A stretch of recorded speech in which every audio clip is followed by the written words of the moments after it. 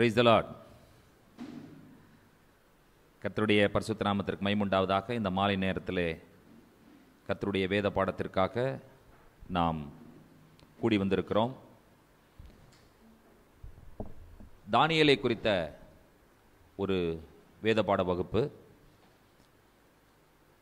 அதாவது வந்து ஒரு ரன் த்ரூ பண்ண போகிறோம் நம்ம. தானியலினுடைய அந்த பக்கங்களிலே சில முக்கியமான விஷயங்களை நாம் என்ன செய்ய போகிறோம் என்று சொன்னால் பார்த்து நம்முடைய ஆவிக்குரிய வாழ்க்கையில் தானியல் இன்றைக்கும் பேசி கொண்டிருக்கிறார் என்பதை குறித்து நாம் இன்றைக்கு கற்றுக்கொள்ளப் போகிறோம். ஆகினால எல்லோரும் ஜெபத்தோடு நீங்கள் தயாராக அமர்ந்திருக்கிறீர்கள் என்று சொல்லி நான் நம்புகிறேன். கர்த்தர் நம்மிடத்தில் நம்ம நம் கர்த்தர் நம்ம நம்மிடத்தில் நிச்சயமாய் பேசுவார் என்கிற எதிர்பார்ப்பு விசுவாசம் தைரியம் எனக்கு இருக்கிறது. நீங்கள் எத்தனை பேர் விசுவாசிக்கிறீர்கள்? கர்த்தர் பேசுவார் என்று சொல்லி. ஆமென். தானியலின் புஸ்தகம் ஒன்றாம் அதிகாரம் ஒன்றாவது வசனத்தை வாசிக்க கேட்கலாம். மைக் அங்க மைக் வால்யூம் இல்லைப்பா அது.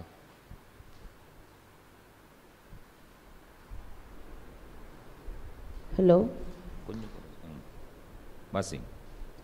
யூதாவின் ராஜாவாகிய யோயாக்கீம் அரசாண்ட மூன்றாம் வருஷத்திலே பாபிலோனின் ராஜாவாகிய நெபுகாத் நேச்சார் எருசலேமுக்கு வந்து அதை முற்றுகை போட்டான். நேபுகாத் நேச்சார் எருசலேமை வந்து முற்றுகை போட்டார் என்று சொல்லி நாம் பார்க்கிறோம். இப்பொழுது அந்த முற்றுகை போட்ட சமயத்தில் அவர்கள் என்ன செய்தார்கள் என்று சொன்னால் எருசலேமில் இருக்கிற யூதர்களை சிறைப்பிடித்துக் கொண்டு பாபிலோனுக்கு போகிறார்கள். முதல்ல நாம் எதை தெரிந்து கொள்ள வேண்டும் என்றால் பாபிலோனுக்கு சிறைப்பிடித்து போன யூதர்கள் எப்படிப்பட்டவர்களாய் இருந்தார்கள்? மூன்றாவது வசனத்தை வாசிக்க கேட்கலாம்.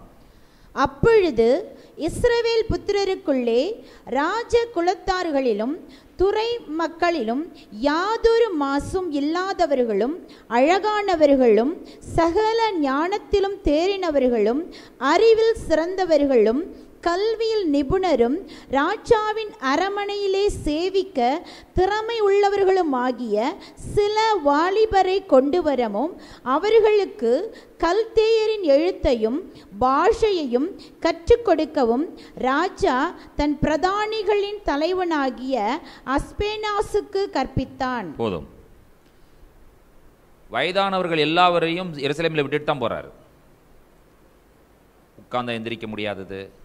கண் தெரியாதது காது கேட்காதது இவர்கள் எல்லாம் விட்டுட்டு நல்ல திறமையுள்ள இளமையான மக்களை எங்கே கடத்தி கொண்டு போகிறான் என்று சொன்னால் பாபிலோனுக்கு கடத்தி கொண்டு போகிறார்கள்.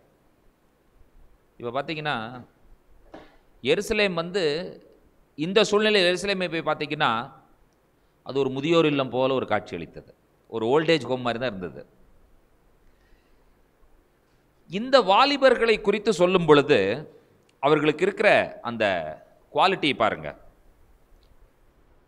ராஜகுலம் துறை மக்கள் மாசில்லாதவர்கள் அழகானவர்கள் சகல ஞானத்திலும் தேறினவர்கள் அறிவியல் சிறந்தவர்கள் கல்வியில் நிபுணன் அது மட்டுமல்ல ராஜாவின் அரண்மனையிலே சேவிக்க திறமை உள்ளவர்கள். இவர்களுக்கு என்ன திறமை இருந்தது என்று சொன்னால் த பவர் ஆஃப் வெர்சட்டாலிட்டி என்று சொல்லி சொல்லுவார்கள். அப்படின்னு என்ன அர்த்தம்னா எப்படிப்பட்ட சூழ்நிலையும் கையாளக்கூடிய ஒரு திறமை. சிலருக்கெல்லாம் பார்த்தீங்கன்னு சொன்னால் அந்த சமயோஜித புத்தி என்று இருக்கும். த பிரசன்ஸ் ஆஃப் மைண்டு எந்த கேள்வி எந்த சூழ்நிலையில் கேட்டாலும் உடனே அதற்கு த- சரியான பதிலை சொல்லுவார்கள். தகுந்த பதிலாகவும் இருக்கும் சரியான பதிலாகவும் இருக்கும். எந்த சூழ்நிலையும் கையாளக்கூடிய ஒரு திறமை. இப்படிப்பட்ட திறமை உள்ள வாலிபர்கள் நான்கு பேர். இந்த நான்கு பேரை குறித்து நான்காவது வசனத்தில் சொல்லும் பொழுது இவர்களுடைய குவாலிட்டியை பார்த்தீங்கன்னு சொன்னால் இவ்வளோ விஷயம் இருக்குது அறிவில் சிறந்தவர்கள் கல்வியில் நிபுணர் ராஜாவின் அரண்மனையில் சேவிக்க திறமையுள்ளவர்கள் மாசில்லாதவர்கள் அடுத்தது தே ஆர் டீச்சபிள் இங்கிருந்து அங்கே போய் இன்னொரு பாஷையை கற்றுக்கணும் எவ்வளோ கஷ்டமான விஷயம். அந்த பாஷையும் கற்றுக் கொடுக்கிறார்கள். ஏன்னா பாஷை தெரிந்தால் தான் அங்கே போய் நீங்கள் என்ன செய்ய முடியும் என்று சொன்னால் மக்களோடு சம்பந்தப்படுத்தி அவர்களோடு இணைந்த ஒரு வாழ்க்கை வாழ்ந்து அவர்களுக்கு சில விஷயங்களை நீங்கள் கற்றுக் கொடுக்கவோ கையாளவோ உங்களுக்கு தெரிய வேண்டும் என்று சொன்னால் பாஷை தெரிஞ்சிருக்கணும். நீங்கள் பார்த்தீங்கன்னா நம்ம இந்தியாவில் இந்த சர்தார் ஐஏஎஸ் முடிச்சுட்டு தமிழ்நாட்டில் கலெக்டராக இருப்பார். ஆனால் தமிழ் எவ்வளோ தெளிவாக பேசுவார் தெரியுமா? இன்னொரு இன்டர்பிரட்டை வச்சோ இன்னொரு டிரான்ஸ்லேட்டரை வச்சோ என்ன செய்ய மாட்டார்? பேச மாட்டார். மொழி நன்றாக தெரிந்து நம்ம என்னமோ அவருக்கு தெரியாதுன்னு சொல்லி சில விஷயங்களை பேசணும்னா கரெக்டாக பிடிச்சிடுவார் மொழி தெரியாமல் ஆட்சி பீடத்தில் இருக்க முடியாது. என்ன தெரிந்திருக்க வேண்டும்? மொழி தெரிந்திருக்க வேண்டும். இவங்களுக்கு ஃபஸ்ட்டு பண்ண வேலை என்னன்னு சொல்லி பார்த்தீங்கன்னு சொன்னால் மொழியை கற்றுக் கொடுக்கிறார்கள். மொழியை அவர்கள் கற்றுக்கொண்டார்கள். மொழியை கற்காமல் அவர்களால் இருக்க முடியாது. அடுத்தபடியாக பார்த்தால் ஐந்தாவது வசனத்தில் ராஜா தான் உண்ணும் போஜனத்தினாலேயும் தான் குடிக்கும் திராட்சை ரசத்திலே தினமும் ஒரு ஒரு ஷேர் ராஜாவினுடைய ஃபுட்டில் ஷேர் இந்த ஷேரை அவர்களுக்கு மூணு வருஷம் கொடுக்கணும். அதற்கு பிறகு அவர்கள் ராஜாவிற்கு முன்பாக வந்து நிற்க வேண்டும். அப்போது லாங்குவேஜ் சொல்லி கொடுக்கணும். அதற்கு பிறகு அவர்களுக்கு என்ன கொடுக்கணும்? ராஜாவினுடைய ஃபுட்டை கொடுக்கணும். இப்பொழுது பாருங்கள். இவர்களுடைய ஒரிஜினல் பேர் என்னன்னு பாருங்கள் தானியேல் அனனியா மீஷாவேல் அசரியா. தானியல் என்கிற பேருக்கு என்ன அர்த்தம்?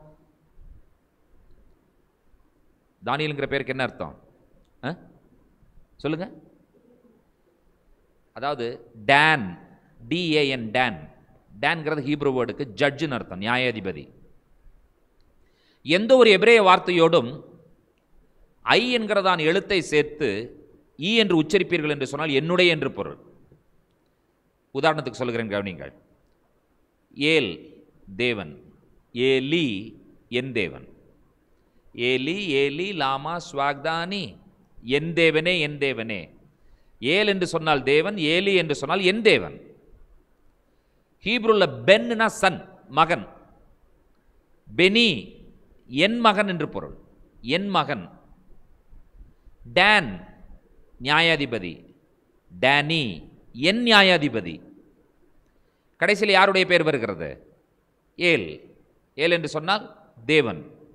இப்போ டேனியல் தேவன் என்னுடைய நியாயாதிபதி. காட் இஸ் மை ஜட்ஜ் என்ன அற்புதமான பேர். அடுத்தபடியாக ஹனனியா. ஹனனியா. இந்த பேருக்கு என்ன அர்த்தம்? எகோவா கிருபையுள்ளவர். எகோவா கிருபையுள்ளவர். ஹனனியான்ற எகோவா கிருபையுள்ளவர். அடுத்த பேர் என்னது? மீஷாவேல். அதற்கு என்ன பொருள்? உம்மை போல ஒரு தேவன் இல்லை. உம்மை போல ஒரு தேவன் இல்லை. மீஷாவேல் என்றால். அசரியா. அதே போல என்னோட சொன்ன சொல்லுங்க பார்க்கலாம். எசர் உதவி. எசரி என் உதவி. யா யாவே. யகோவா எனக்கு உதவி செய்கிறவர். இப்போ என்னென்ன பேர்? தேவன் என் நியாயாதிபதி. அடுத்தது ரெண்டாவது யகோவா கிருபையுள்ளவர். மூன்றாவது உம்மை போல ஒரு தேவன் இல்லை. நான்காவது யகோவா என்னுடைய உதவி. என்ன அற்புதமான பெயர்கள். இந்த பெயர்களை மாற்றி தேவன் நியாயாதிபதி என்கிற பெயருக்கு பாபிலோனிய பெயர் என்ன தெரியுமா வைத்தார்கள்? Belteshazzar Belteshazzar தேவன் நியாயாதிபதி என்கிறதான இந்த பெயருக்கு என்ன பெயர் மாற்றப்படுகிறது என்ன பொருளுள்ள பெயர் மாற்றப்படுகிறது என்று சொல்லி கேட்டால் பொக்கிஷங்களை காப்பவன். பொக்கிஷங்களை காப்பவன். அடுத்தது பாருங்க. அடுத்த பேர் என்னது? ஷாத்ராக். இது வந்து பாபிலோனில் நேபுகாத் நேச்சாருக்கு மிகவும் பிரியமான ஒரு கடவுள். அக்கு சொல்லுங்க. அக்கு. சொல்லுங்கய்யா. அக்கு. அக்குன்னா நிலவுன்னு அர்த்தம் நிலா. மூன் காட் இவன் என்ன தெரியுமா பெயரை வைக்கிறான்? ஷுடூர் அக்கு ஷாத்ராக். ஷுடூர் அக்கு அடுத்தது. மீஷா அக்கு அடுத்தது. ஆபேத் அக்கு. இதுதான் ஷாத்ராக் மேஷாக் ஆபேத் நேக்கம்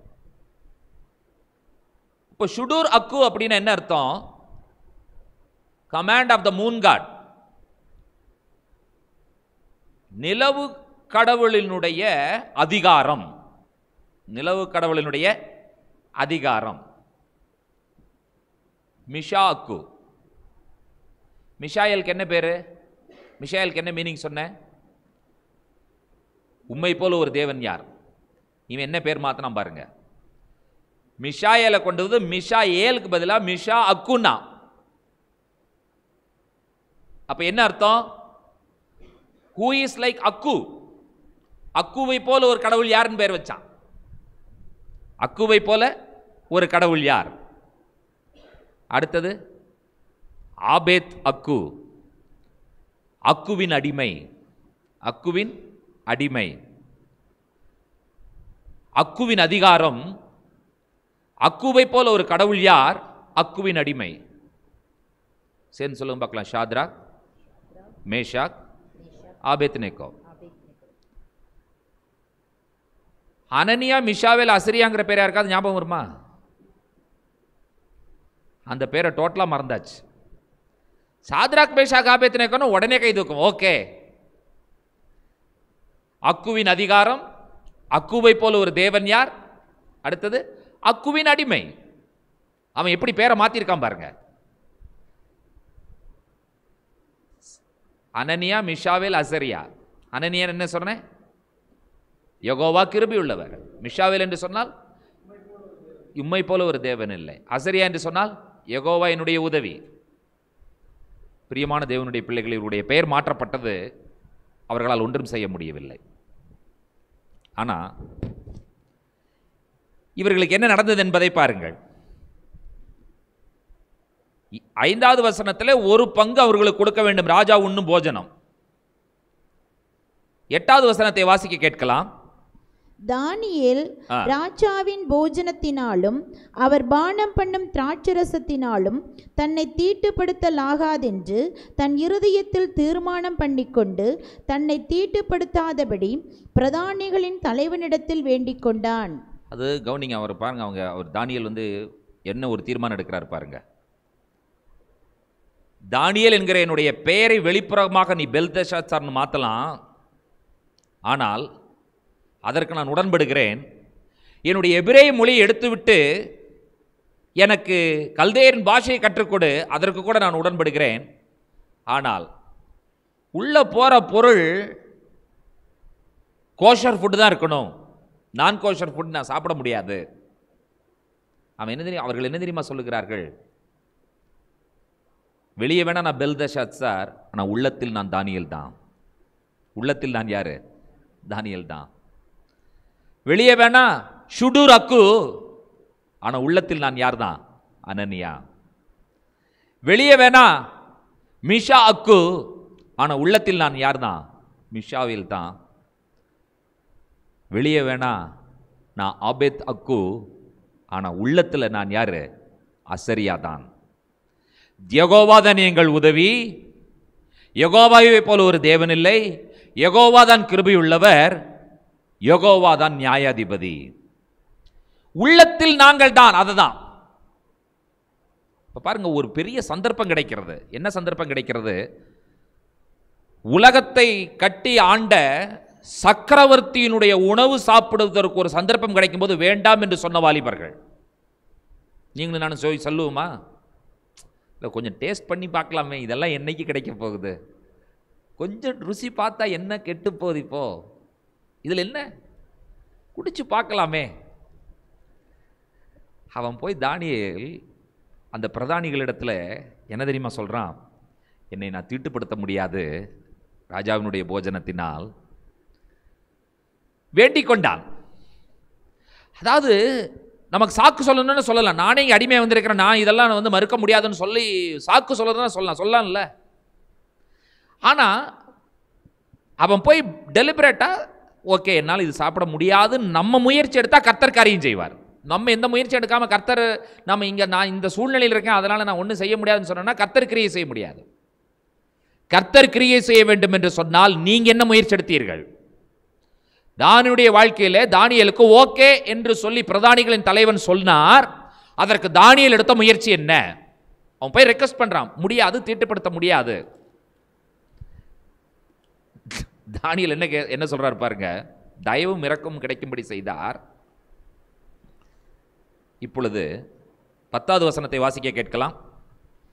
பிரதானிகளின் தலைவன் தானியேலை நோக்கி உங்களுக்கு போஜனத்தையும் பானத்தையும் குறித்திருக்கிற ராஜாவாகிய என் ஆண்டவனுக்கு நான் பயப்படுகிறேன். அவர் உங்களோடொத்த வாலிபரின் முகங்களை பார்க்கிலும் உங்கள் முகங்கள் வாடிப்போனவைகளாக காண காண வேண்டியதென்ன? அதனால் ராஜா என்னை சிரச்சேதம் பண்ணுவாரே என்றான். இவன் என்ன பயந்துக்கிறான்னு சொன்னால் உங்களுக்குன்னு ஒரு ரேஷன் கொடுத்துருக்குறாங்க. இது இந்த குவாண்டிட்டி இந்த அமௌண்ட் ரேஷன். இதை நான் செலவு பண்ணி ஆகணும் இந்த ரேஷனை நான் செலவு பண்ணலைன்னா நீ ராஜா சாப்பிட்ற சாப்பாடு சாப்பிட்லைன்னா உன்னுடைய முகம் வாடி இருக்கிறதா மாதிரி தெரியும். அப்போ என் தலையை எடுத்துட்டு வர என்ன பண்ணுறது எவ்வளோ பெரிய பயம் பாருங்க அவனுக்கு. இப்போ பிரதானிகளின் தலைவனாலே தானியேல் அனனியா மீஷாவேல் அசரியா என்பவர்கள் மேல் விசாரிப்புக்காரனாக வைக்கப்பட்ட மேல்ஷார் என்பவனை தானியேல் நோக்கி என்ன தெரியுமா சொல்கிறான் பத்து நாள் டைம் கொடுக்குறேன். டென் டேஸ் மூணு வருஷம் கொடுத்துருக்கார்ல ராஜா பத்தே பத்து நாள். உன் இந்த உம்முடைய அடியாருக்கு நீ என்ன கொடுன்னு சொன்னால் பருப்பும் மரக்கறியும் கொடு. வெஜிடபிள்ஸ் டால் வெஜிடபிள்ஸ் சப்ஜி இவன் என்ன டிக்ளேர் பண்ணிட்டான்னா நாங்கள் வெஜிடேரியன் டிக்ளேர் பண்ணிட்டாங்க. அங்கே போய் தோராவில் வந்து எதை சாப்பிட வேண்டும் எதை சாப்பிடக்கூடாது என்று இருக்கிறது ஆகியனால முள்ளும் செதிலும் உள்ள மீன்கள் மட்டும்தான் நாங்கள் சாப்பிட முடியும். விரிகுளம் பொழுதும் அசை போடுவது மட்டும்தான் நாங்கள் சாப்பிட முடியும். மற்ற அனைத்தும் நாங்கள் சாப்பிட முடியாது. லாப்ஸ்டர் சாப்பிட முடியாது. பிரான் சாப்பிட முடியாது. நண்டு சாப்பிட முடியாது. பன்றிக்கறி சாப்பிட முடியாது என்று சொல்லி இதை அதை என்று ஒதுக்கலை. அவனையே கன்ஃபியூஸ் பண்ணணும். பெட்டர் டிக்ளேர் வெஜிடேரியன் இ டிக்ளேர் நாங்கள் வெஜிடேரியன்ப்பா வேலை முடிஞ்சிச்சு. நாங்கள் ஃபிலிப்பைன்ஸ் ஊழியத்துக்கு போயிருந்தப்போ எங்களுக்கு ஒரே பயம் என்னென்னா காலையில் பிரேக்ஃபாஸ்ட்டுக்கே பன்றிக்கறியை கொண்டு வந்து வச்சுருவாங்க. ஃப்ரை பண்ணி. இப்போ நாங்கள் போய் வந்து நாங்கள் இதை சாப்பிட மாட்டோம்னு சொன்னால் அது ஓல் அது ஓல்ட் டெஸ்டமெண்ட் இது நியூ டெஸ்டமெண்ட் சொல்லி கதை பேச ஆரம்பிச்சிருவாங்க. அவர்களுக்கு உடனே போய் ஸ்டோரியை சொல்லி சொல்லி கொடுத்துட்டு இருக்க முடியாது. நாளடைவில் அவர்களுக்கு புரியும். வசனம் போனால் புரியும். என்ன டிக்ளேர் பண்ணிடணும்? நாங்கள் வெஜிடேரியன் ஆ நீங்கள் வெஜிடேரியனா ஆமையா நாங்கள் வெஜிடேரியன் திணறாங்க. என்ன சாப்பாடு கொடுக்குறதுன்னு தெரியல. நீ என்ன கொடுத்தாலும் பரவாயில்ல காய்கறிகளை கொடு. தப்பிச்சிட்டோம்ல நம்ம? ஒவ்வொரு தடவையும் கொண்டு வந்து வைக்கும் பொழுது இது என்ன கறி இது என்ன கறின்னு கேட்டுட்டு இருந்தோம்னா அவன் டென்ஷன் ஆயிடுவான். நல்லாவே தெரியுது காலையிலேருந்து நைட்டு வரைக்கும் அதான் சாப்பிட்றான்னு சொல்லி. வழியில் போகும்பொழுது வண்டியில் என்ன கொண்டு வர்றாங்கன்னு சொல்லி பார்த்தீங்கன்னு சொன்னால் லாரி நிறைய ட்ரக்கு நிறைய வெண்பன்றி அடைச்சி கொண்டு வர்றான். கொழு குழு குழு குழுன்னு உள்ளே இருந்துட்டு அது பாட்டுக்கு ஜாலியாக பிரயாணம் பண்ணி போயிட்டு இருக்கு. அதில் வேற ஒரு பாஸ்டர் இதில் ஒன்று நாளைக்கு நமக்கு வரும் பாஸ்டர் அப்படிங்கிறாரு. எப்படி இருக்கும்? பிரியமான தேவனுடைய பிள்ளைகளே அவன் அழகா டிக்ளேர் பண்ணான் பருப்பும் காய்கறியும் மட்டும் எனக்கு கொடு நீ சோதித்துப்பார். பத்து நாளைக்கு சோதித்துப்பார். பதினான்காவது வசனம் என்ன சொல்லுகிறது? அவன் இந்த காரியத்திலே அவர்களுக்கு செவி கொடுத்து பத்து நாள் அளவும் அவர்களை சோதித்து பார்த்தான். பத்து நாளாலும் ஒருவர்களை சோதித்து பார்த்தான். என்ன நடந்தது பாருங்க பதினைந்தாவது வசனத்துல. பத்து நாள் சென்ற பின்பு ராஜ போஜனத்தை புசித்த எல்லா வாலிபரை பார்க்கிலும் அவர்கள் முகம் களை உள்ளதாயும் சரீரம் புஷ்டி உள்ளதாயும் காணப்பட்டது. கர்த்தர் கர்த்தர் செய்வாரா செய்ய மாட்டாரா கர்த்தருக்காக நாம் வைராக்கியம் எடுத்தால் கர்த்தர் காரியங்களை செய்வார். வைராக்கியம் நம்மள்ட்ட வேணும் முதல்ல. நம்ம இது சூழ்நிலை இப்படி இருக்கிறது இது பிஜேபி ஆட்சி இது ஆர்எஸ்எஸ் ஆட்சின்னா அப்புறம் ஆண்டவர் என்ன செய்ய முடியும்? நமக்கு முதல்ல எங்கே போனது வைராக்கியம்? ஆண்டவருக்காக. இப்பொழுது என்ன நடந்தது என்று சொன்னால் முடிவிலே இவர்களை ராஜாவினிடத்தில் கொண்டு வந்து நிறுத்துகிறார்கள். பத்தொன்பதாம் வசனத்தை நான் வாசிக்கிறேன் கவனியங்கள். ராஜா அவர்களோட பேசினான். அவர்கள் எல்லோருக்குள்ளும் தானியேல் அனனியா மீஷாவேல் அசிரியா என்பவர்களைப் போல வேறொருவரும் காணப்படவில்லை. ஆகையால் இவர்கள் ராஜ சமூகத்தில் நின்றார்கள். இருபதாவது வசனத்தை வாசிக்க கேட்கலாம். இருபதாவது வசனம். ஞானத்துக்கும் புத்திக்கும் அடுத்த எந்த விஷயத்தில் ராஜா அவர்களை கேட்டு விசாரித்தானோ அதிலே தன் ராஜ்யம் எங்கும் உள்ள சகல சாஸ்திரிகளிலும் ஜோஷியரிலும் அவர்களை பத்து மடங்கு சமர்த்தராக கண்டான். இதற்கு மேல் என்ன வேணும்? டென் டைம்ஸ் பத்து மடங்கு. மற்ற எல்லாரை பார்க்கலும் இவர்கள் ஞானத்தில் விஷயத்தில் எல்லாத்திலும் பத்து மடங்கு இவர்கள் சமர்த்தராக இருக்கிறார்கள். ஓகே இப்போ என்ன பண்ணலான்னு இவர்களை அப்பாயின்ட் பண்ணிட்டாங்க. இவர்களுக்கு என்ன அப்பாயின்மெண்ட் கிடைக்குதுன்னா ஞானி என்கிற அப்பாயின்மெண்ட் கிடைக்குது. போஸ்டிங்கே அதுதான். ஞானிகள் இவர்கள். எந்த காரியத்தினாலும் இவர்கள்ட்ட கேட்டால் இவர்கள் பதில் சொல்லிவிடுவார்கள் அவ்வளவு அனந்த ஞானத்தினால் கர்த்தர் அவர்களை நிரப்பி வைத்திருந்தார். சோதனை பாருங்கள் ரெண்டாம் அதிகாரத்தில் ராஜா ஒரு சொப்பனம் கண்டார். சொப்பனம் கண்டு சொப்பனத்தை அவர் பார்த்துவிட்டு தன்னுடைய தேசத்தில் இருக்கிற எல்லா ஞானிகளையும் கூப்பிட்டு ஜோசியக்காரர்கள்லாம் கூப்பிட்டு அவர் சொல்கிறார் நான் ஒரு சொப்பனம் கண்டேன். இப்பொழுது நீங்கள் நான் கண்ட சொப்பனத்தையும் சொல்ல வேண்டும் அதனுடைய அர்த்தத்தையும் சொல்ல வேண்டும்ட்டார். யாருனால முடியுது? சான்ஸே இல்லை. இவர்கள்லாம் தலைகளை நின்று பார்க்குறாங்க உலகத்தில் யாராலும் சொல்ல முடியாது ராஜா நீ சொப்பனத்தை சொன்னீங்கன்னா விளக்கம் சொல்கிறேன் ராஜா என்ன தெரியுமா சொன்னார்? நான் சொப்பனம் சொன்னால் நீ என்ன வேணால் விளக்கம் சொல்லுவேன் நீ என்ன வேணால் விளக்கம் சொல்ல அதை நான் ஏற்றுக்கிறேன் ஆனால் சொப்பனத்தை சொல்லு. நீ தப்பாக விளக்கம் சொன்னால் கூட எனக்கு பிரச்சனை இல்லை. ஆனால் சொப்பனத்தை சொன்னாதான் நீ சொல்கிற விளக்கம் கரெக்டாக இருக்குன்னு நான் நம்ப முடியும். அவனுடைய அதிகாரம் எப்படிப்பட்டதாக இருந்திருக்கும் என்று சொன்னால் இப்படிப்பட்ட ஆணவத்தோடு அவன் பேசுகிறான் என்பதை யோசித்து பாருங்கள். எப்பேற்பட்ட அதிகாரம் இந்த அதிகாரம்? இதுவரை உலகத்தில் இப்படி யாரும் சொன்னதே கிடையவே கிடையாது. ராஜா என்ன கட்டளை கொடுக்கிறார் என்பதை வாசியுங்கள். ரெண்டாம் அதிகாரம் பன்னிரெண்டாவது வசனத்தில் இது நிமித்தம் ராஜா மகா கோபமும் உக்கிரமும் கொண்டு பாபிலோனிலே இருக்கிற எல்லா ஞானிகளையும் கொலை செய்யும்படி கட்டளையிட்டான் இப்போ பாபிலோனில் இருக்கிற எல்லா ஞானியும் கொலை பண்ணணும் யாருடைய பேர் வந்துருச்சு லிஸ்ட்ல இப்போ இவங்க பேர் வந்துருச்சு இப்போ இப்போ தானியலிங்கர் என்ன நடந்தது இப்படி ராஜா ஒரு காரியம் அறிவிச்சிருக்காரு என்ன செய்யறதுன்னு தெரியல இவன் போய் ராஜாட்ட சொல்கிறான் எனக்கு டைம் கொடு நான் சொல்கிறேன்ட்டான் இவர்கள் எல்லாரும் சேர்ந்து ஜெபிக்கிறார்கள். மறைபொருளை வெளிப்படுத்துகிறது யகோவா தேவன் மட்டும்தான். இவர்களெல்லாம் ஜெபித்த உடனே ராஜா கண்ட அதே சொப்பனத்தை தானியலுக்கு வெளிப்படுத்து வெளிப்பட்டுருச்சு. எவ்வளோ பெரிய அதிசயம் இது. இன்றைக்கு நீங்கள் யோசித்து பாருங்க.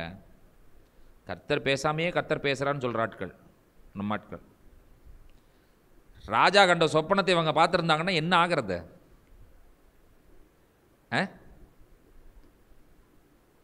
ராஜா கண்ட சொப்பனம் வெளிப்படுத்தப்பட்ட பிறகும் தாழ்மையை பாருங்கள். முப்பதாவது வசனத்தில் ரெண்டாம் அதிகாரம் முப்பதாவது வசனம்.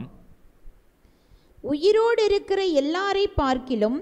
எனக்கு அதிக ஞானம் உண்டென்பதினாலே என்ன தாழ்மை? என்ன தாழ்மை? உயிரோடு இருக்கிற எல்லாரை பார்க்கலும் எனக்கு அதிக ஞானம் இருக்குன்னு நீ நினச்சிக்காத ராஜா.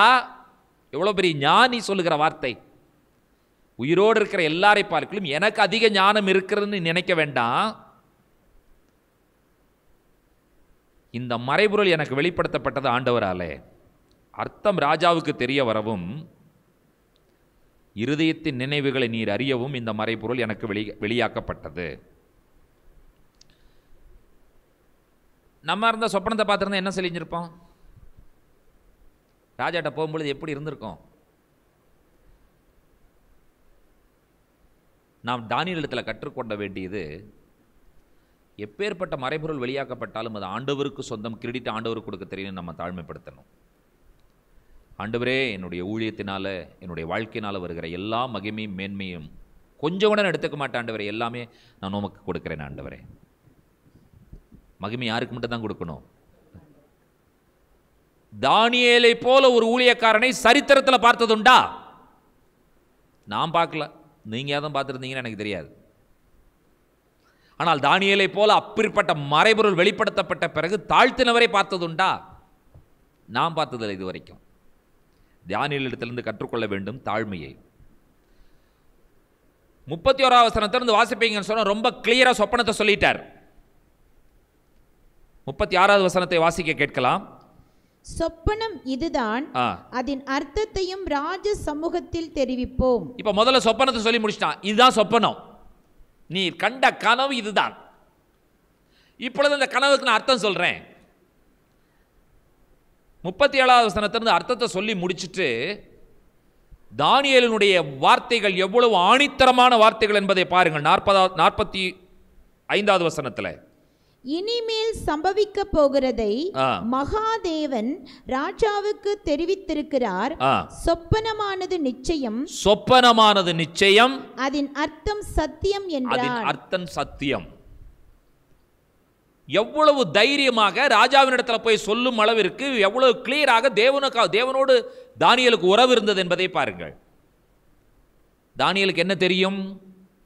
தவறாய் இருந்தால் என்னுடைய தலை போகும் என்பது தானியலுக்கு தெரியும். தவறாக இருந்தால் என்னுடைய தலை போகும்.